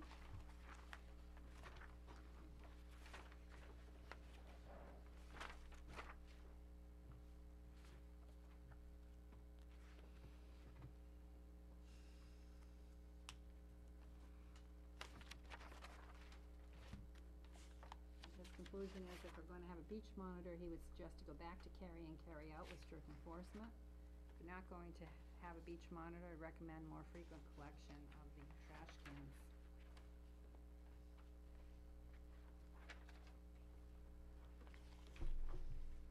And the fourth question was find out the cost of lighting at the beach area. Now contractors tell us typically it's eight to ten thousand dollars, but, um, Public Service emailed me today in response, And they gave all their assumptions of installing one new pole with one two hundred and fifty watt floodlight and associated equipment, wire length not to exceed one hundred and fifty feet in length, ledges not encountered when installing new pole, and traffic control provided by public service. Um, they estimated cost twenty-four hundred. Cost of lighting, and the operating cost is typically twenty-one dollars and fifty-two cents a month for lights. Someone brought this up, and I, I was curious, um, um, what do you call it? Cameras, monitored cameras, where that would be at, like, at the police station or something. Is that, that really wasn't talked about either, cause they serve as a deterrent, for one, and secondly, if someone does commit, uh, let's say it's whether it be alcohol or littering, um, you know, someone might be seeing it on a, on a camera dispatch, so, so rather than doing an active, but, you know, patrol, you're, someone's just monitoring a screen, I, I don't know if that's worthwhile, not worthwhile, I don't know the, The cameras are pretty cheap, but you it's. know, you're, you you, you would, you would know more than that than anyone. Presently, my dispatchers view, I believe it's twelve screens already. In addition to that, they're dispatching emergency calls, phone calls, windows, um, typing reports, et cetera. To throw that burden on them, it's going to be ineffective to be monitoring that, for one. Number two, if I can't get an officer there, there's no way I'm going to be identifying these people by if they're leaving a beer bottle on the beach. I don't have a means to physically identify them and to arrest them, to give out a ticket, I need a physical identification. And, and the, and the, the recorded camera wouldn't provide that. It will give me a picture of someone's face, but not knowing who they are does nothing for me. If they're long gone by the time. If they're gone by the Oh, I time we understand get, that to- piece, and that, but- and that's, that's my concern. I, uh, the reason why, I mean, not to be flip, but if somebody commits a robbery of a, uh, gas Convenience station or some, convenience store, and, and their face is on the camera, I would think that's evidence that, even though they left the scene and they got pulled over three days later, wouldn't that be sufficient evidence to say that they committed that crime, as opposed to, so if somebody was, was drinking alcohol and you can clearly see them, and that's them, um, and I, I- don't know, then you can scan the parking lot for, for, I don't know, that, I know that technology exists, and over the long term, would that be cheaper? I don't, I. When you have an armed robbery with someone pointing a gun or a knife at a store clerk, Right. that's gonna bump it up. That's why you see, you know, on the news, this is the person we're looking Yeah. for. Anyone have any Well, information? obviously, it's a much more egregious crime. But again, that's what they're doing. They're trying to identify this picture. They have the picture. Right. They just need to put a name and an address, if possible, to the person in that picture. Without that link, there's nothing.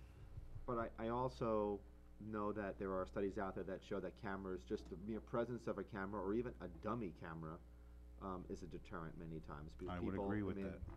Um, so I don't, I don't, you know, a lot of people tend to, they don't know that it's being monitored or not monitored during any given time of the year, and they just see it, and it's like, ooh, I better be careful. So I, that, that was the only reason why I raised it, and, and, and it's a lot, hell of a lot cheaper than, you know, than a patrol all the time, that's, so I don't have all the answers. Our but- planner has attended a conference, uh, in the past on crime prevention through landscape design. I've asked him to review his material from that conference to see if there are any measures we can take there to assist and to consult with the police chief on that. Alright, so we know that we're gonna do stepped up enforcement, Absolutely. um, and then, and that, um, That will include Mountain Base as well. Right, so both areas are gonna have stepped up enforcement, notices have been posted, Correct. letting people know that you're put on notice that should you do any of these things and violate the ordinance, that you will suffer the, the, the consequences of those actions, I believe they also state that you can, you can be arrested. Subject to arrest. Subject to arrest, right, so tho- those are the consequences, fines and subject to arrest. So I, I would hope that, you know, some of the problems that we've been having, having with the complaints of littering, alcohol, animals, et cetera, will be addressed in the short term with just stepped up enforcement, and I think prior, doing, in my opinion, doing anything else other than wa- seeing how the enforcement goes might be premature. Um, give that a shot first. if I may. Yeah. I, I have a couple of things I, I, I looked back over the first proposal that came from a resident who brought in a proposal and, and some of the issues that were presented, and frankly, that was some of my surprise last week is how, I'm looking at the waterfront at Glen Lake proposal. um, And it talked about littering being the biggest problem. And then it talked about alcohol being the next biggest problem, or a big problem, not only by beachgoers, but also by visiting boaters. So I was puzzled by how it got to access. It all, all of a sudden it became access. Um, But we were gonna allow boaters free access. Whereas in this proposal, it states that alcohol use is problematic among boaters.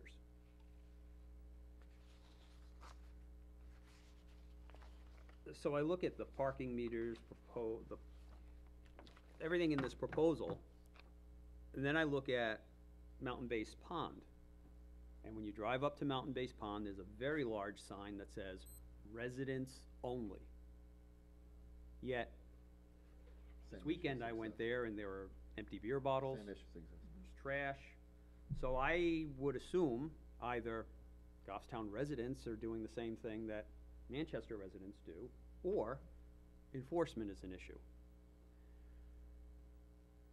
So in looking all of, at looking at all of this, I went back to the original proposal, and then I also looked at the actual ordinance. And there were certain things that were proposed that were never followed through on, or at least never passed. Um, one being stickers.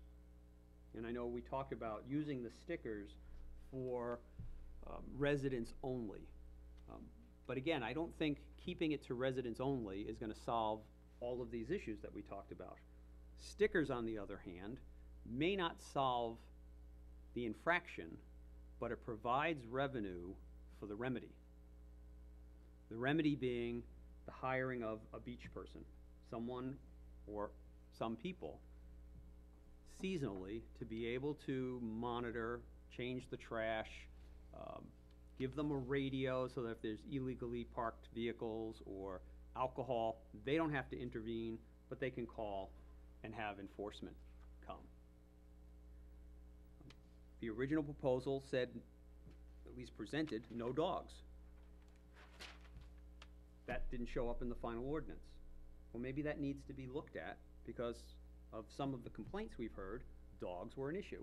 And the very arguments that were held back then, Two dogs there today at three o'clock. And some of the arguments that we had, or some of the complaints from residents are, people will come, they tie their dog up to a tree or to two trees, and the beach isn't very large. So it's very difficult to get by a dog that is tied to a tree and running freely. So I, I looked at some,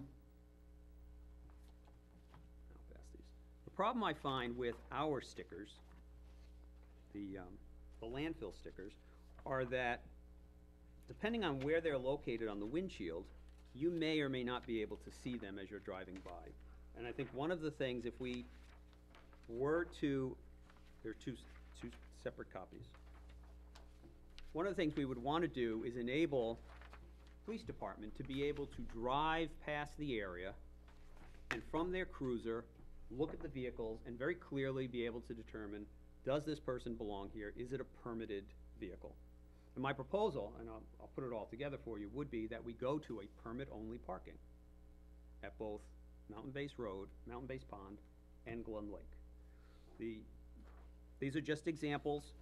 Hundred and fifty of these stickers is about hundred and sixty-five dollars. You can customize them. One would be for Goffstown residents.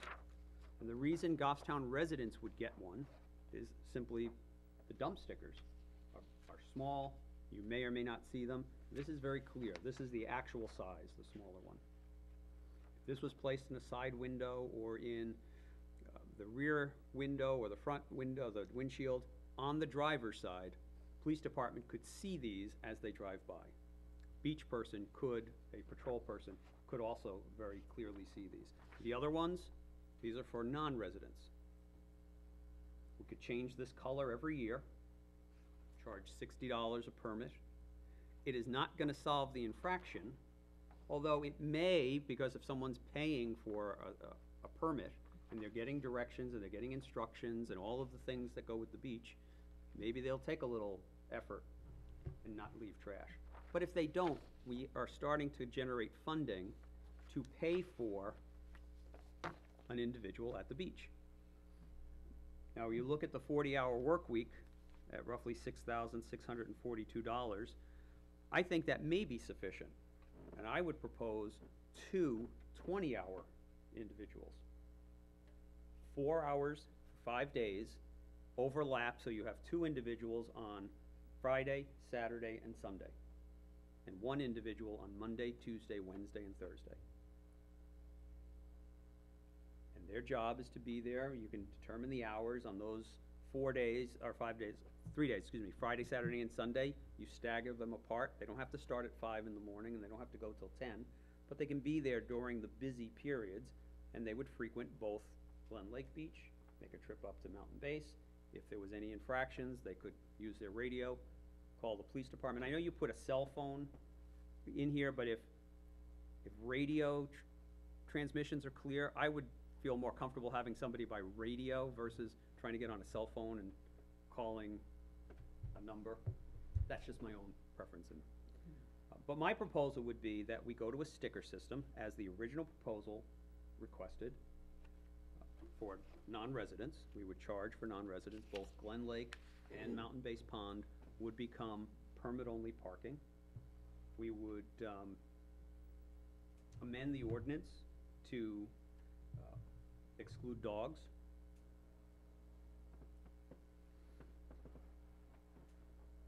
Look at hiring two part-time individuals for the three months.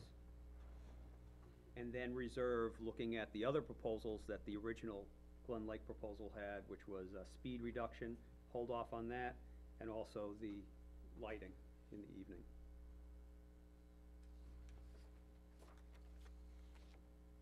Yes, chief. May I? That sounds great. The problem is right now, Glen Lake School, the kindergarten, is wide open. Mhm. So it's gonna take the school board to be on board with this as well, Absolutely. to, to retract, restrict the parking in the school. Additionally, at Mountain Base Pond, that parking is often used for people accessing the trail going up the mountain. So would be be restricting access and parking points to the trailheads as well. Well, you say restricting, they could buy a permit if they're a Permit. non-resident. Correct. Or get one for free if they are a resident. I know part of the other conversation with this is snowmobiling in the winter at Glen Lake. Would you have permitted parking? And we plow that parking lot all winter long. For what reason? Because snowmobilers park there at times and they access the trails. Well, they would purchase a permit because it's permitted parking. Doesn't exclude anyone, just provides a revenue stream for us to maintain those areas.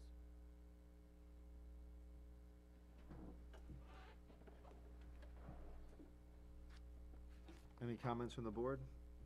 I would prefer to go with the chief's plan and, uh, stick with the enforcement for now and see how that does.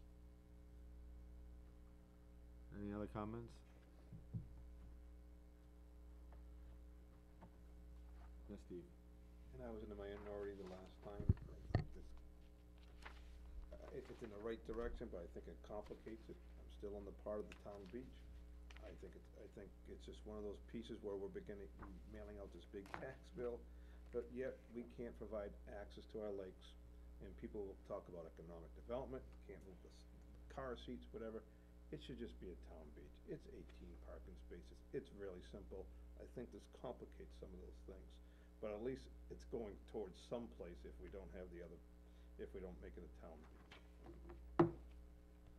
You know, thi- this is, uh, I think this has becomes a heated issue simply because I don't think anybody really fully understands what the desires are of those, uh, of, of what the end result is. I'm, I'm, I'm hearing a lot of mixed messages. I'm hearing it's an enforcement issue to make sure that the place remains clean, free of alcohol, perhaps dogs, so that people can enjoy it. I hear things about access. Goffstown residents pay the freight, they should be the only ones to use it. I hear the opposite. I hear it termed welfare beach, which con, which denotes that, oh, these are people who are poor, have no place to go, which I find kind of offensive personally. Um, I go to, uh, other parks in, in New Hampshire, and does, I don't think I'm a welfare person simply because I use Livingston Park or Clough or other places. I mean, uh, to me, that is just outrageous to, uh, that the fact that, you know, simply because residents from another community who may have little less financial means come to enjoy themselves, and maybe there's a few rotten apples who leave their diapers or beer bottles, who, who, but, but to denigrate it to the sense that these people are less than, than human or worthy or welfare recipients is, is just, that's just wrong. Um, is there a problem with probably a few rotten apples who are making a scene for the vast majority of people who, who have every right to use that beach? Yeah. But is it anything different than anywhere else? And then we're gonna throw money at it. We're gonna hire monitors and all this other stuff. Whereas other communities, residents, there's plenty of residents who walk by, they can quickly call up a cell phone and call the police department and say, hey, we've got some issues down here. They can also have a cleanup themselves where they clean up the beach. Um, we have uh, cleanups along highways where businesses do it. I haven't heard anybody talk about the fact that you could hire a business down there that has some canoes or some paddle boats where they, just the mere presence of having a business down there who can rent out, like an outfitter that has three or four canoes, what a great summer job, you know? I'll rent these things out, I'm gonna be there the entire day anyway, and just the mere fact that there's somebody there who's in an official capacity, albeit a business owner, maybe that would, you know, deter some things, but, um, I don't know where the issues are, I don't know if it is access, I don't know if it's a, if it's a status thing, if it's a, you know, uh, resident versus non-resident, someone from Manchester doesn't belong in Goffstown. I don't know what it is. I don't know if it's enforcement. And we, and we get letters from people that essentially say the same thing. Some people say, you know, uh, parks are open for everyone. Then I get, it should just be for us. Uh, then it's, you know, I don't want these folks who are uh, welfare recipients coming to our town and using, clogging up our beach. Well, th- those are all, and then, and then what? We're gonna say the same thing about the rail trail? Oh, I don't want, when that bridge gets built and it connects Manchester to Goffstown, are we gonna say the same thing? I don't want those folks from Manchester coming in. Do the people in New Boston say the same thing? I don't want those folks from Goffstown coming into our pristine, beautiful New Boston. We're better than they are. I don't know. That's a class system. I, I personally don't like that, but I'm only one here. But I don't know, so I don't know what the issues are. Short term, I think that the chief has, to- is going in the right direction. Let's ramp up the enforcement, and let's see where that goes. If that doesn't work, then I'd be more than happy to entertain Nick's idea, or even Steve's idea going down the road. But I think you start off with the baby steps. I think Nick was before me, I'll, I'll wait after you. Thank you. A permit system provides access. It doesn't exclude one- a resident versus a non-resident. But what it does is it recognizes the fact that in order to keep Glen Lake and Mountain Base Pond up, it's a fact of life, just because of its increased use, we need to develop a revenue stream to pay for that. And this does that. I'm not in favor of charging Goffstown residents because they already pay for that in their taxes. And it's not unusual for communities to charge for a permit to go to a beach. We're not closing it off to anyone, we're not saying we don't want your community or your town But or then your where's that gonna city. go, Nick? Is that, are we gonna do the same thing to rail to trails? Because once that bridge gets built, people are gonna be biking into Manchester, they may drop their, their soda bottle, or they may be drinking uh, an alcoholic But beverage. c- if- if I And then may, where does it go Steve, from I there? mean, uh, Mr. Chairman, where it goes is, when someone comes up with a great idea, we need rail to trails. Well, somebody also needs to come up with, how are we gonna maintain these things? Glen Lake was developed, and I'm sure some conversation, someone said, who's gonna maintain the beach? "Well, We're not gonna worry about it right now. Well, the time is now. We need to maintain the beach. And your thinking is great. We obviously can't put a toll on that bridge for rail to trail. But somebody better start thinking now, five years from now, when that trail is developed, who's gonna maintain it? Who's gonna pick up trash? Who's gonna clean it? Because those issues are gonna come up. So, all I'm saying, I'm looking at one problem, I'm not looking at rail to trails, I'm looking at a problem that we can solve simply by adopting what the original proposers put in place, a revenue stream to be able to maintain the areas. That's it. Uh, and we talk about enforcement, I, I have an email here, and, and this may have been a while ago from a resident up in Mountain Base Pond. And there was a party, not a party, but there was, the beach was packed, parking was down the street, she called PD. She was sitting on the beach. And when the officer arrived, he came out on the beach and shouted, hey, you're all from Goffstown, right? Well, she had been sitting among a group of people that were just claiming, you know, exclaiming how their town doesn't have anything like this. The response was unanimous, even from those previously identifying another hometown. The officer then clarified, some cranky resident called, so I had to come down here and bother you nice people. Now, this may have been ten years ago, may have been fifteen years ago, it may be embellished, but I, the, the point is, it's difficult for a police officer to walk onto a beach and start asking for IDs. Uh, if, I disagree strongly with that. I've done that my entire career um, up until the point I was lieutenant. Um, it is not unusual for our officers to walk on a beach, ask for IDs, and follow the person back if they don't have it, to their car. Where do you live?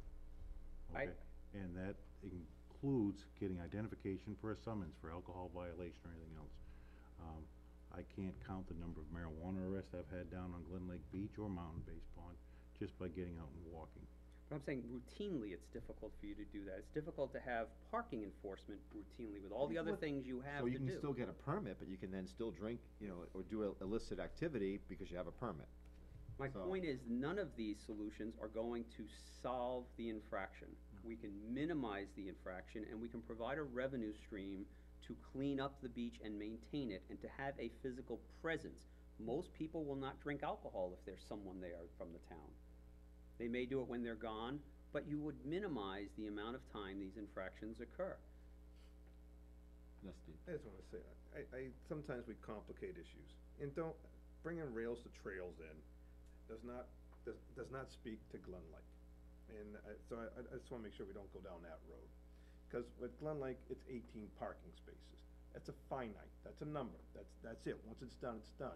I, I agree with Nick, once, once the trail opens up, and I, I'm sure the chief will be down here eventually saying, how do we enforce it, how do we monitor it? But that's a separate issue, not for today. But the, but Glen Lake is about eighteen parking spaces. Eighteen thousand people, I'll even break it down into a family of four goes in the car and then we'll say it's a fully loaded car.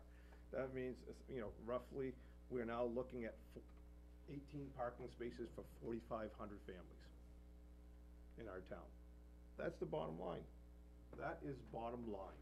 I agree with the, that, you know, the, the, with the monitoring process and cleaning up and et cetera, but it still doesn't allow people in town access to that lake. Second, if you were to ask a majority of the people, every time, and you, well, you know, every time I see anyone from Goffstown, I ask, what do you think? Do you feel you have access to the lake? It is not, there, the answer is going to be, mo- most, most, majority of the time, no. It, it's not, it is full, it is packed, that's why prior boards put up the rails, the, the guardrails, et cetera, you know, to condense and to minimize that amount. We don't have access to it, and it's been there for decades. And it's funny, cause I look at, I look at it, it's just one of these simple problems that, it, it, it, that it's, you can't change the amount of parking spaces, so then you have to look at how do you grant that mm-hmm. access? And I think we complicate this stuff too much s- these times, and I think this is one of those times where if you were to ask the full will of the town, I would expect a strong majority of them would saying, hey, I think a town beach is a great idea, I would like to have better access to, to, to a place that I pay taxes on, and I think it's, I Right, think, and, and I I, think, let me just finish in like five seconds. I think it's one of these times, that of, as a board, we should just look at it and say, let's go with the will of the people of the town and not just look for, uh, look for, you know, talk about other, what I, what I call filter out the noise, uh, look at other issues, just keep right to the issue. Access to that beach. Cause, I mean, if that's the case, then if I'm looking at, I don't know what the will of the town is, to be honest with you. We've gotten some emails and some letters all over the board. We've got some people, like Mr. Karen, who live in the area, who are disturbed by the fact that he doesn't, you know, he's seen people drink alcohol, drop dirty diapers, and it, and it affects his quality of life. That's reasonable. I've got another lady, Diane McCarthy, who says, great, you do it there, what are you gonna do on Mountain Base? Then I have another person who's, who, who wrote in saying, you know what, um, I don't think that, I think parks are, are open for everyone, and that, and that you should not shut them down and have exclusivity. Then you have somebody else who says that I think that you should let residents of Goffstown park at the Glen Lake School by permit or whatever, and then have, have the other spaces open, first come, first served. I've heard, that's all of them. We've heard access issues, we've heard paying for it issues, we've heard all of it. And ultimately, whether this board, I mean, this is a tough decision, but the way our form of government works, if somebody is so passionate, then they can put a petition article on. We can, we can make it a private beach, but then it will be the will of the voters. Mm-hmm. And if that's what they wanna do, then that's what they wanna do. I mean, these, we are elected officials, we have different opinions on this one. And, but the beauty of our government is, is that if the will of the people, and let's say it happens next March, says, you know, we wanna make this private, then, then we have to, we have to dictate those terms. But right now, if the key issue is, and again, it seems to me, even in that document, Nick, way, way back when it was started, and the current issues now, it's about people littering, um, dogs, uh, diapers, and it's, it's an enforcement thing.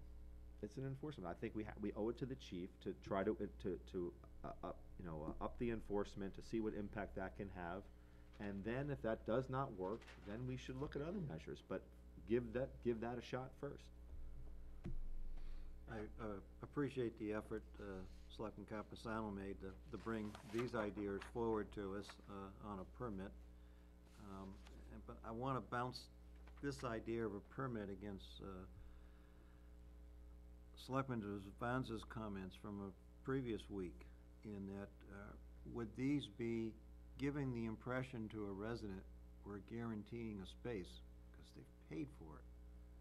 And then the answer to that, from what you said, is n- no, we're not guaranteeing a space, and at that point, we have, A resident wouldn't pay for it. No, a non-resident who pays fifty dollars or whatever it is for the cost for a year is gonna say, I paid fifty dollars and I can't park here. I want So, my money back. there's, um, It's- it's I, a- there's, there's, uh, I'm, I'm hesitant on that point about how we're guaranteeing spaces. I, you know, in that regard, but I think, it's a step in the right direction. no, yeah, and that's, I think that's, that's one of the problems, Nick, is that when you do look at one of these yearly pass things, um, And there's you know, sufficient. And, and there's, and there's hundreds. sufficient parking, I, I agree with you, but in, in a very limited situation, if we're gonna go down the revenue path, then I think the kiosk or some sort of system where they would pay per hour or something, or per day, on a first come, first served basis would be the way to gener- generate the revenue. I think you'll have more headaches here, cause potentially if, if, if fifty or hundred people buy that pass, and now they're all competing for eighteen spaces, they're gonna be coming down here, sucking up our time, going to PD, parking illegally, and, but I paid fifty dollars, give me my money back, um, I think it's more problematic. And there is, there is a cost for this. It's the issuing cost. It's, it's the least expensive of all the options, though. Yeah, the payback for the rate of return on your investment for a kiosk is And I'm not, decades. and I just wanna be clear here, I'm not against what your proposals, and Steve, believe it or not, I'm not against yours either. But I think this is a progression, and I think the first part is ramped up enforcement to see how that goes. And if that does not work, then we start to go to Plan B. And if Plan B doesn't work, then we go to Plan C. What does that mean? I'd like It's a time. definition of ramped up enforcement. What does that mean? I'll speak to that. We will be having directed patrols, at least two per shift walkthroughs on the beach, on hot sunny days where it is packed. On a regular Monday morning, I won't have anyone walking down there. In addition to that, I will have an officer in plain clothes on the beach on occasion. It has been posted as such that they'll be patrolling in both uniform and plain clothes capacity. These officers will rotate between Glen Lake Beach and Mountain Base. Um, at that point, they will call in any violators of littering, alcohol, or any other violations of the ordinance or state law to m- uniformed officers to give them a summons. So that's the ramped up enforcement, along with the usual parking that we do there. End of, end of discussion. One That's question. a good deal. One question, um, because Public Works is asking whether or not to take the lids off the trash cans so that people can access that. It is a carry in, carry out, but remember, it didn't work, and after a few weeks into that program, they put the trash containers along the edge of the road. They haven't taken off the plywood on top of those containers, and they're wondering if they should be doing that because they've been watching your discussion. Uh, The only other comment to that was Carl wrote that people from, go through town and drop their trash off when it's at the road. And, Yep. And They that's, do it here at Town Hall. and I thought it that's was- my that's my point from the No, I don't previous make that much discussion, energy. is to move the barrels closer to the beach area and less accessible to the sidewalk or walk I area. think Carl's email says that he doesn't have the resources to, to then send somebody to move the, the trash from that beach area to the street for pickup. I think he then maybe, Mark. maybe he has to make the resources for it. Make the resources or, uh 'cause the trucks are passing there Yeah. every day. Yeah. Even though, you know, it's not once a week situation, they are passing there every day and, uh, uh, Pull over, pull over, and, Yep. you know, he, it is what it is. I mean, I He think if told- the chief, if the chief He is gonna told be me doing what he's today doing, that then- for, you know, a truck may visit a thousand houses in a day. He, he can't afford to get out of the truck and correct a barrel, pull it closer, um, examine barrels, he, he moves on pretty quickly. And so, uh, yes, we'd be putting a crimp in that driver's style. Unless the park department, uh, was able to, uh, pull the barrels closer to the street, just like we do in our houses. We also have the Adopt a Spot program, and someone came in couple weeks ago and we referred them over to DPW with the Adopt a Spot, and maybe they could help out with that. I'm just, I mean, there, there are other options, I mean, and I wasn't joking about, you know, licensing or giving someone the opportunity to have a little business there, because that would also give someone the potential of, it's a presence. I mean, if you have a couple of canoes, or, I mean, I don't know, I mean, that's, and that's something that makes it more of a destination too, so, I- there's, there's different ways of, of skinning the cat, but I think, my personal opinion is, is that try the, the increased, uh, police presence, try the, uh, enhanced garbage collection. If that doesn't work, then we go on to your plan. If yours doesn't work, then we go on to Steve's plan. I mean, but at least it's, it's, it's a slower progression. And I know what you're gonna say is that, oh, this thing's been going on for years, and I, and I understand that, but it's gotten a lot of attention the last couple of months, and I think we try to see what happens this summer, and then we're gonna be talking, if it doesn't work, then we will be talking about permits and don't, no doggies, and then maybe not, you know, only residents. I mean, but I think you gotta try the different approaches first, and, you know, just to, to leap forward and say we're gonna shut it off to, to no other residents without trying this approach first, Nick's Nick's approach second, I don't know, I don't, think there's a harm in Just- doing that. Just so you, I, I understand we're done, but just so you understand, my, my concern isn't the idea that by making a town beach, it's, it's not, it's not about, I mean, obviously, there's a, there's a cleanliness factor we need to deal with also, but it's still a separate issue. Access is access, it has nothing to do with, the, you know, with the other, s- with the other piece that you're speaking about it. Well, I see, I don't know, I In other don't, words, all I'm trying to say is like, good, uh, I, I, I appreciate, and we appreciate the effort, you know, that, that you're gonna put forth here. The chief says, hey, we're gonna enforce it, keep it clean, keep the alcohol off, I mean, that's a fantastic piece. I'm sure it's been done in the decades behind also, but it will not change the access to the beach. It will not change that. And so as much as we talk about this, and I know we're gonna move forward from here after this, it will not change town access, citizen access to that beach. It won't change it. It'll be still eighteen slots shared with, with, with anyone else. I, I think word of mouth on increased patrols may influence that situation on, you know, that was, Uh, I'm sorry, Chief. With all the parking at the school still, it's not restricted. People have unlimited access to park at that school. There's no restriction from keeping anyone from parking at that school. So we're That's not why talking just Yeah. eighteen parking spaces, we're talking 36. probably Right.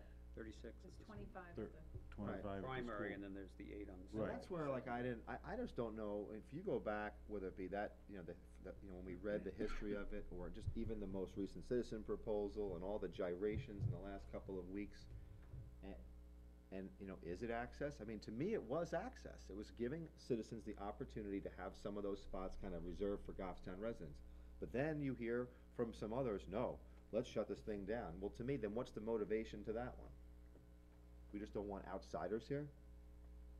That's how it comes off. I don't want outsiders. I don't want outsiders on my beach. They're welfare people. when, That, that, that's what it sounds like. first of all, for me, just, y- you need to. it's not s- you saying I it. know that, but you need to just take a step back from that one. Chairman Scott Right. Okay, and, I mean, you're, you're trying to bring a, that, f- a- a hot issue to it, and it doesn't belong in the issue. period, okay? Second thing is that when I look at the older pieces of this, when this place was built, and according to Carlos Adams, when they designed it, the reason there was eighteen slots was that this beach can't afford to handle one hundred people. Mm-hmm. Okay, and so all of a sudden, we talk about access, and now all of a sudden, we're taking parking space that was not intended use for this pla- for the, for the beachfront, because it, it's not, the reason there was eighteen parking spaces was because it cannot hold Accommodate more than that. more than Right. that. So what you're saying now is that, hey, by the way, we will use the school parking, which will give greater access, which I do agree, but you have a beach that cannot accommodate that size. And that was the whole design of the last piece, when previous boards, I imagine you would have been on it, Phil, uh, uh, approved that plan. Was, Oh, absolutely, but uh, don't- don't forget, as I brought up the last meeting, and the chief is here, okay? How many people park on Upton Lane or other streets and walk down to the beach? Absolutely. And, and on the other side, how many people park at Glen Lake and take their bikes off the car and go, go riding? I myself have seen Yes. three or four Oh, yeah. vehicles pull up, they all take their bikes off and they're gone for the Or day. how many? Or kayaks. Thank you. How many people go into a rowboat, a Right, so not kayak, every or go out on a boat is- and spend the rest of the day? They're not really on the beach, they're on, they're on the lake the whole day. Or they may go with a friend and they have the car, but the other person is trailering the boat and they all go out in the boat for the, I mean, so it's, I, I, and I guess that's what I didn't understand. This whole thing is when I proposed last week to say, okay, if half of it was for Goffstown and half of it was for, was for open, then it does give, guarantee some access. But then there was, you know, well, why does that, that doesn't make any sense either. Well, if access is the issue, then it's a compromise. But if access is not the issue, then there's something else at play. And I don't know, access is the issue, I think, for you. yes. So we're going forward with the chief's proposal? right? I, but I, but I also think that we should be taking a look at a time frame and how much time are we gonna give this? Let's ask him. And how What much is the time- measure of our success? I mean, what are we shooting for? You know, obviously, we're shooting for a cleaner beach. We're shooting for a, a place that is more conducive to, what, families? Okay, is that safe to say? So you have to know what are you looking to measure during this whole period of time. So we're looking for a cleaner facility, a place that is more conducive to families. What else? Nick brought up, uh, pets, I believe, correct? Nothing. That we can't do anything about. There's Not nothing the ordinance, prohibits not in the ordinance. Alcohol-free, I think increase people's responsibility when they're using the Right. facilities. and, and how do you, and how are we gonna measure that? Again, that's gonna be through the educational portion. Is there a way to measure it? No, there's not a definitive way to measure it. Um, you're gonna have hopefully less trash. Um, I guess what I'm trying to say is I, I'm, I'm in total support of increased enforcement, as long as we know that that, at the end of the day, we can somehow measure it, and, or at least get a sense that it's working. And then what time frame we're gonna say? Are we gonna say by, th- by, uh, July fourth, July? Fourth fourth? of July weekend, the end of that weekend. That's our experimental time, and then we, Well, because, uh, I'm not gonna put a de- definite, that's No, I when we end our but- thing. We will continue our enforcement, but that's the time frame that I'm going to give it, from Memorial Day to the Fourth of July. Okay, and- As the high, high-intensity enforcement. right, and I think from there, then I'd like to take a step back personally and say, okay, did this work or didn't it work? And if it didn't work, then I'm going to Plan B. And then I'll, I'd like to try that for the rest of the summer. And if that doesn't work, then I might go to Plan C, personally. But, I, I would suggest that we turn to some of the very people that came to us with proposals to see if they would be willing to put a small group of people together to monitor the beach or beach areas, um, over a period of time, and then I report agree. back to That's us. fine. Have they seen an improvement? They're the ones who came to us with the problem. So they know what to look for, they know when those problem times are, and, um, they would be the best to, to tell us if there has been an improvement or any change.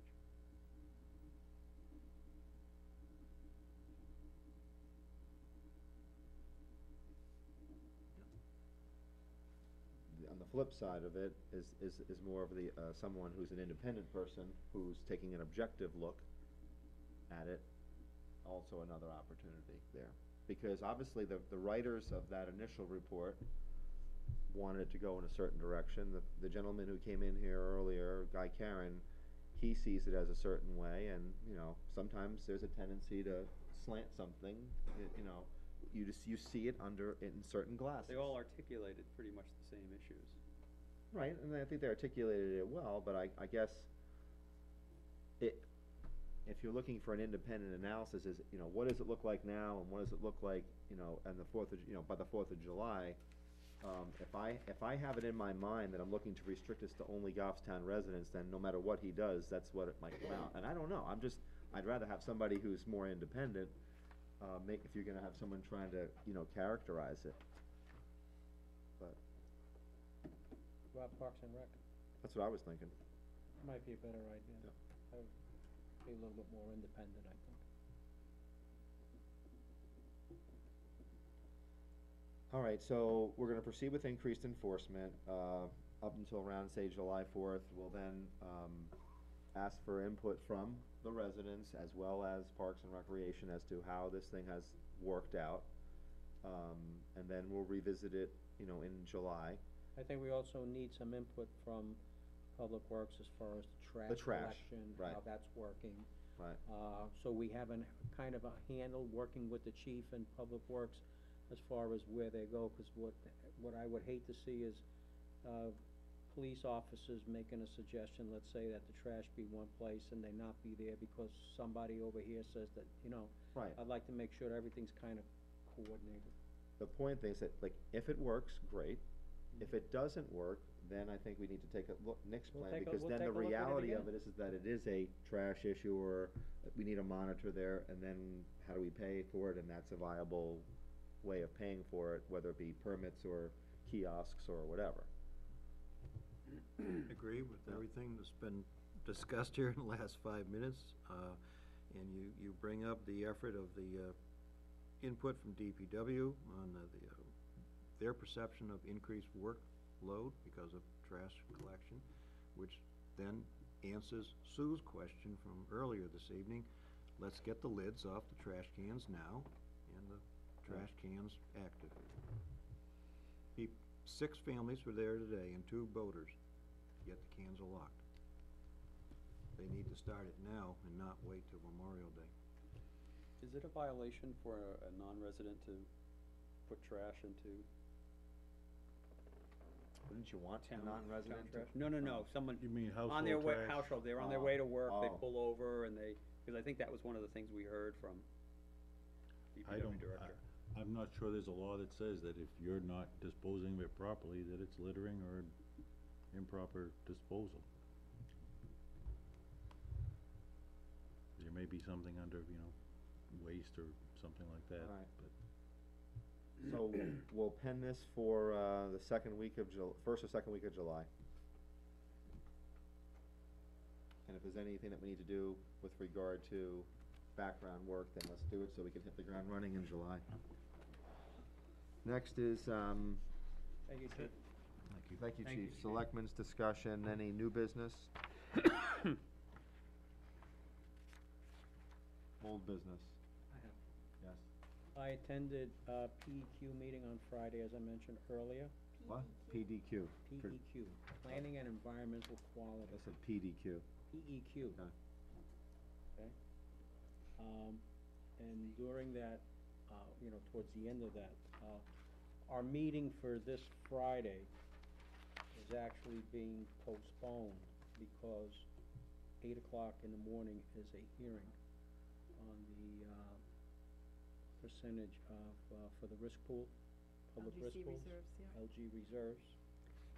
Uh, And it was also brought up that Julia Griffin, the town, uh, town manager in Hanover, uh, is proposed to, um, writing a letter to state reps and the senators, and I believe the, maybe the governor also, I don't know, uh, about the issue.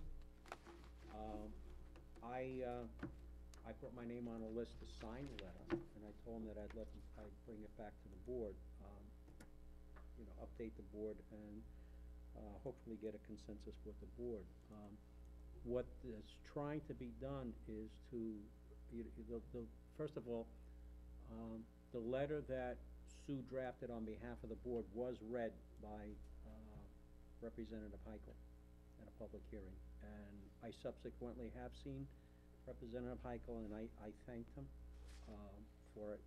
And he commented to me that after he read it, he said he couldn't believe how many people came up to him and thanked him, uh, for, for his comments and reading that there.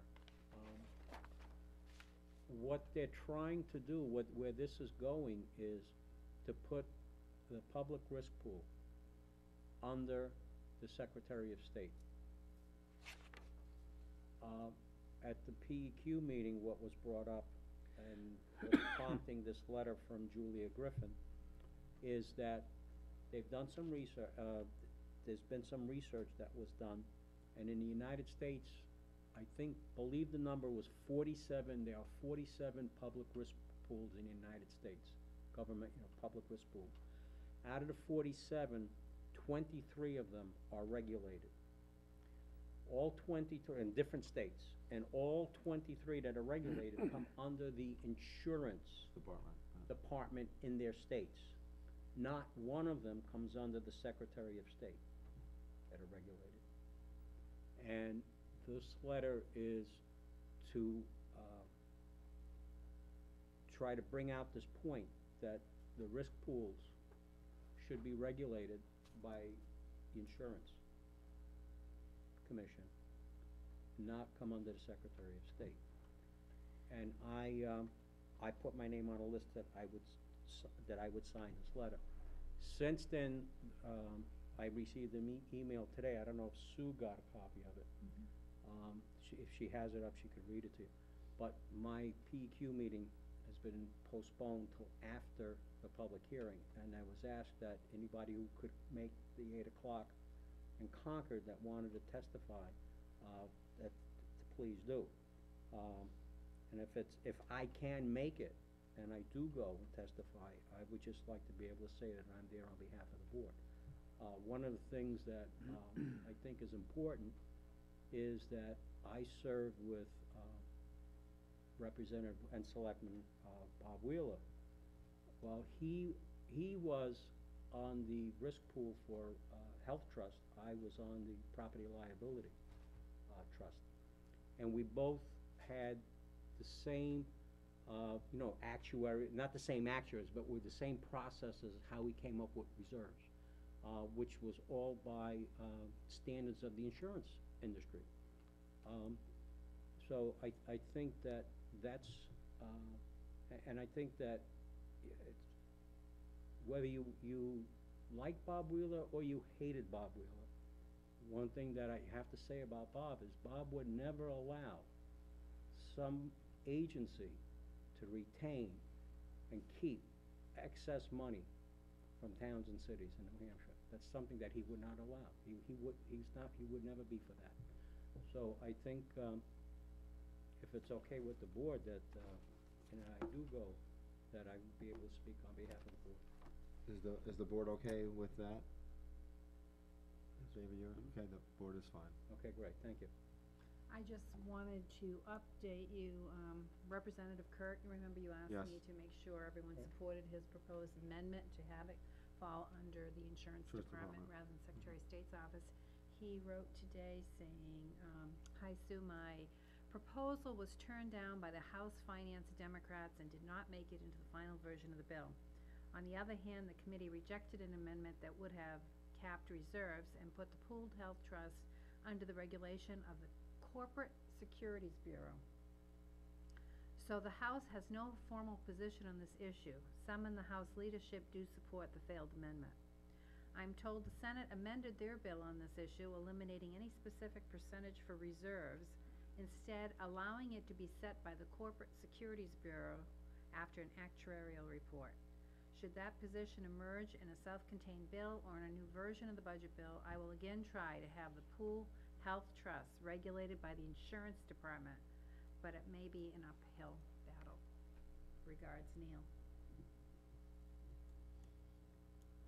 Corporate Securities Everything- Bureau, isn't that under investigation now for the mortgage fraud? The corporate what? Securities Division? I think, Corporate securities? I'm not sure if that's whether you you file your LLCs under. Because that's all part of the corporate division now, so I don't know where the bra- I don't know how the structure is broken out under the corporate division. I'm gonna keep moving, uh, committee reports, sewer? Yes, the uh, sewer commission did meet on the eleventh of May, and uh, they had four uh, aspects of uh, significance. Uh, They approved a contract which would provide a final design of the project intended to stabilize a portion of the uh, ground where the sewer line runs under the rail trail east of Moose Club Park Road, it's near Namaske Lake. The problem in that area is uh, due to the steep slope between the rail trail and shoreline, uh, the ground appears to be sliding towards the lake. And uh, hence there's a risk of a sewer line failure. Um, The slope stabilization project, uh, through, through that project, the town will be taking remedial action to reduce the risk of such an event.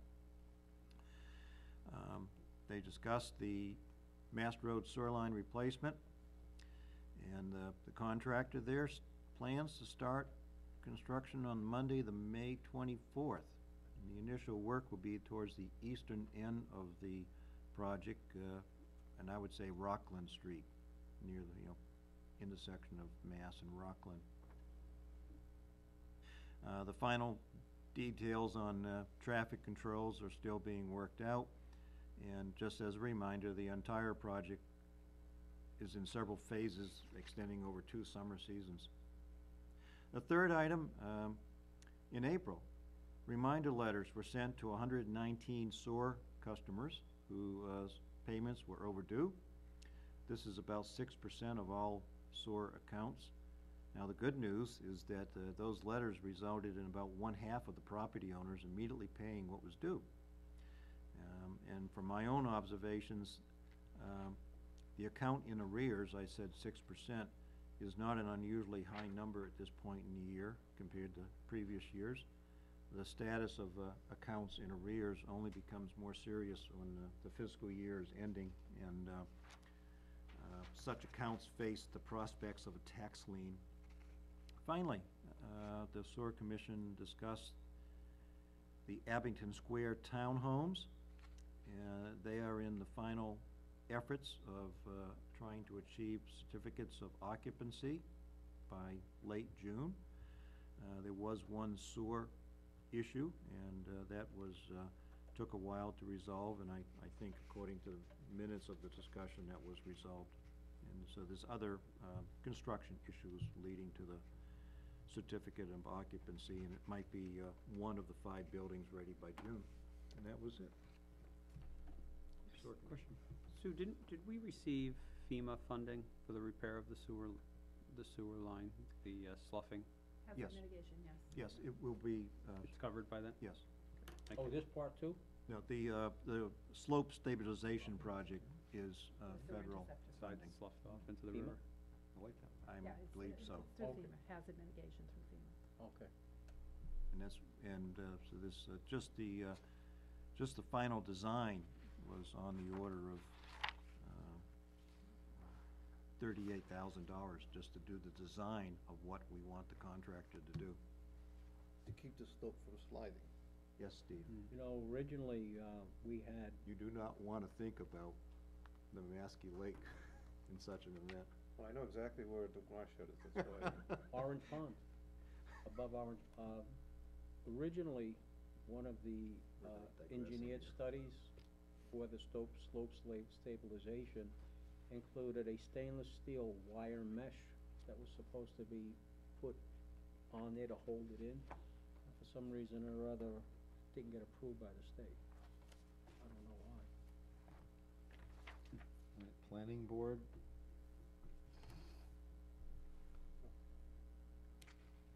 I'm not planning for it. No, you're planning board. You're looking at him saying planning board. Told him no twice. Planning board did meet, uh, last, uh, Thursday, and there was a time extension request, um, for, uh, site plan to build a four-unit multifamily, uh, building, um, over on Lo- uh, Laurel, um, next to the old, uh, landfill, uh, in that area uh, which was granted for a year.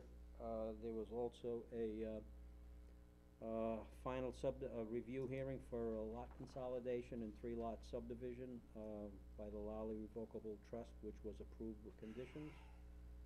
And also, we had a, uh, a request for, uh, extension on the, um, it was the Fornia Revocable Trust, um, over on Patty Hill Road, which was granted to, I believe it was June twenty-fourth, the second meeting. That was basically it. Any questions? All right, I, I had a couple of things under, I don't know if it's old business or new business, but we were getting into the habit of having our department heads come in to talk, give us kind of a report. And we kind of fell off the bandwagon there. Are we gonna get back in, uh, back on the wagon? Sure, I've been putting the reports on your folder in your, No, on your verbally, computer. they, But do right. you want them coming in for, you were doing it quarterly, do you want quarterly? Yeah, and I, and I think, um, we have not, I, I- I think, I've seen our police and fire, we've, I, I think maybe Rick, I see how things are going and, Mhm. um, but, but just try to get back onto that. You know. And I think with an emphasis on budget, you know, how is the budget coming along and any other old or new business, Steve? Okay, um, two, uh, one small thing and one not so small. One, um, there was an area on the Mashpee Lake that we was trying to get a, get a Eagle Scout to clean up, but Dave stole my. Pierce stole my stuff, that's, that's okay. Water behind the bridge. But I just wanna check with the board, cause other people have had- had interest, they said, what if, cause there's, there's steel barrels, there's steel, there's tires, there's a wheelbarrow, and local people in the community just said, do you mind if, if they, they're saying if they just go down there and clean it out themselves? Do we have a problem with that, or do we have to go through a process? In fact, quite frankly, I think the town should actually go down and pick out the steel barrels, the tires, and the, the old rotted wheelbarrows, but the local residents are ready to do it. Do we have a problem? Where, is it on, where is it? The town, it's town lane. Bay. Street, right? uh, On Bay Street, yeah, right. Uh, I, I have no problem, but you do face the same predicament that I do on the rail trail, uh, when I pull into the transfer station with a load of, uh, trash from town Yeah. property, is convincing the attendant this was town trash. I'll touch, I'll touch base with Carl first, we're coming with a load, but if we don't have a problem with it. That's what I do. I, Okay. I give them a day's notice that I'm doing Right. that. Do- Is this group of residents interested in doing the adopt a spot on a regular basis? I think they're just saying, I think it's more of a thing of they just get together for a Saturday and just say, we just, we'll, we'll help pick it up and just clean it up, that's all. But I mean, there's been fifty-five gallon drums that are rusting down there for. Could, could you stop by the Glen Lake waterfront? I'll No pick up some drinking. trash there. No drinking. Now, here's the, the second one though, and the second one is, is that I I wanna deal with it more on next Monday, but by the time we, you know, we call in, everyone gets the things, it's Friday, doesn't give much time for research. But the, the question has come up several times regarding the trestle, rails and trails is going across, but the rea- uh, but there's still the question of what that, what that bridge is going to look like. And during the last cou- couple floods, it, that has become the primary dam for the lake. And what we're dealing here with is, at one point I've heard people say, well, maybe they'll remove the, the sta- the, the- the stands, maybe they'll remove two of them, but we don't know that answer. And I, and I think this is a time for us to look at it and say, where, what, um, you know, what is gonna happen with it and how do we go forward? Because, um, the state, uh, during the Mother's Day flood, they researched and they looked at it, and for those, uh, I don't know if anyone went up to Concord, they actually brought federal people in, and they looked at what happened during the flood of the Mother's Day, you know, what, what, what were some of the things that ha- happened during the Mother's Day flood? And one of them was the idea of how they open and control the dams, and the second piece was that came up and it was the trestle, and that, that's the primary dam. In fact, that's the primary dam. And since then, floods have, you know, in fact, the newspaper put in there, once floods has, that has become a way of life down there. And you're dealing with public safety, and you're dealing with you know, you're dealing with property value, with, not, not the idea of property values, but, you know, property itself. And so the question here is that they're doing a great job monitoring it, they're doing, regarding working the dams, but we still run up with debris in the, in the trestle. In fact, we, had- Mr. Pierce went down the last time during the flood itself and had, you know, we had to have it removed. The Mother's Day flood, there was no debris there at the time before the flood, but it came down during the flood. In other words, there was no way you could have stopped it. So, Um, I'm not sure if there's something that we wa- as a board, that we, we get, um, we, do we contact Jim Gallagher from, from, from the state? Do we contact Lou D'Alessandro, do we, do we write a letter to the, to the governor, but I'd like to discuss this on Monday, what we can do, because I think this is a situation where if they're gonna be doing the bridge, it, this could be a win-win for everybody at this point in time. Yes, Nick? Uh, I can confirm with you, but my understanding is the rail trail grant is to replace the deck on that trestle. There is no structural work being done to the trestle itself. And like I say, then, then at that point, I think it would be for us as, as, as a board of the town, that our first thing, one is public safety. During the floods, we've had, we've had, uh, CERT teams go down there, we've had people evacuated, and also we've had damage to personal property. If we're going to do anything for our community, this is one of the first things we should be handling, is safety and, and, and, and, uh, property. And part of the reality is that if that's the case, what they're doing with the bridge is totally separate, we should still proceed forward saying, we need to, you know, cause, uh, the plan was brought forward by the state, they brought the federal flood bureaus in when I went to Concord, and they researched this, and they came back and they said that trestle and those things, that blockage created the primary dam, and that was one of the issues they were going to address. And it hasn't been addressed because, like everything else, it dropped off. I think it's a jurisdiction issue as well.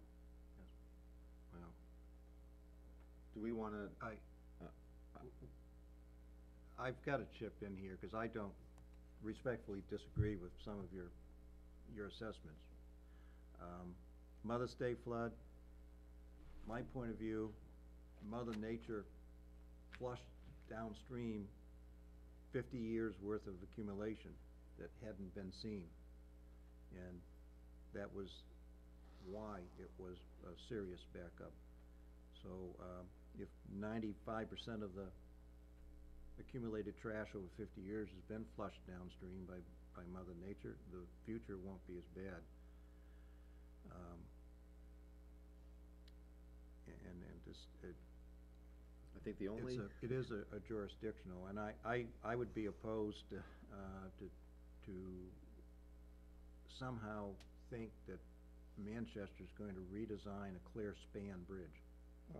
And here's where I, That's- here, here's the place where I don't know where it's going. First of all, that debris that came down, that debris came down on the last flood and the flood after that. This is, this is a recurring event. right, event. and I think like, the, And the, the other point I would make is if you look at the windstorms that we've had lately, it knocks trees down, so that before you didn't have anything, now if it, if we had another major flood event, you may have If I could, additional fin- if I debris. could finish, and if you wanna take a walk, go down mm-hmm. behind the women's prison, you can see where, and that's, that's county land, and you'll see two massive trees, which will go on the next one. The, the, the whole bank is washed out, it's now in the water, you know, from the last flood. But the reality is, you know, when you talk about jurisdiction, I don't know who, who, what the jurisdiction is with that. I, you know, being, I don't think it's Manchester, to tell you the truth, but I don't know the answer to that. In other words, flood management is a state-run issue, if I, if I'm correct with that. And the state should be monitoring this, and we as a town, as a board, should be looking at it saying, wait a minute, was it a, was it a one-year time, hundred-year flood? No, it's become way of life. It's every year, and sometimes we've had two of them that were rather large this, this year. And I, I don't think we should sit back and just look at this. Uh, and, and uh, I have a recommendation along the lines you're, you're speaking of, uh, perhaps this fall. Uh, Our town can send letters to all of the abutters on the lake, including the county, saying, um, help the community by removing from the shorefront, um, Debris. debris, you know, complete trees especially. You know, while the four-foot logs are gonna go through the trestle, no problem, but it's the complete trees. Remove them now rather than wait for Mother Nature to clog up the trestle.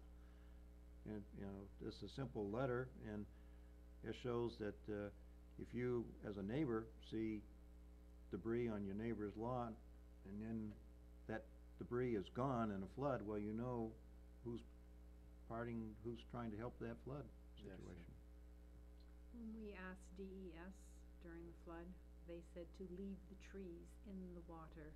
Yeah. They said it was a natural habitat for, You can leave the roots, you, you have to leave the tree in the, that's what they said.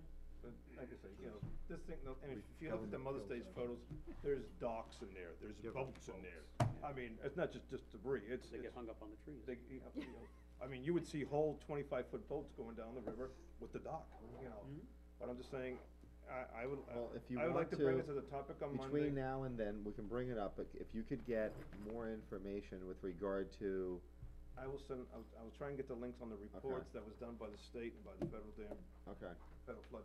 They came out of Tennessee and they looked at, and they, and they had put that trestle as, as, as, as a major contributor. alright. Any other business? Motion to adjourn. Do we have any, non, we don't have any non-public, right? We have a motion to adjourn, do we have a second? Seconded by Selectman Campusano, all those in favor? Aye. five zero.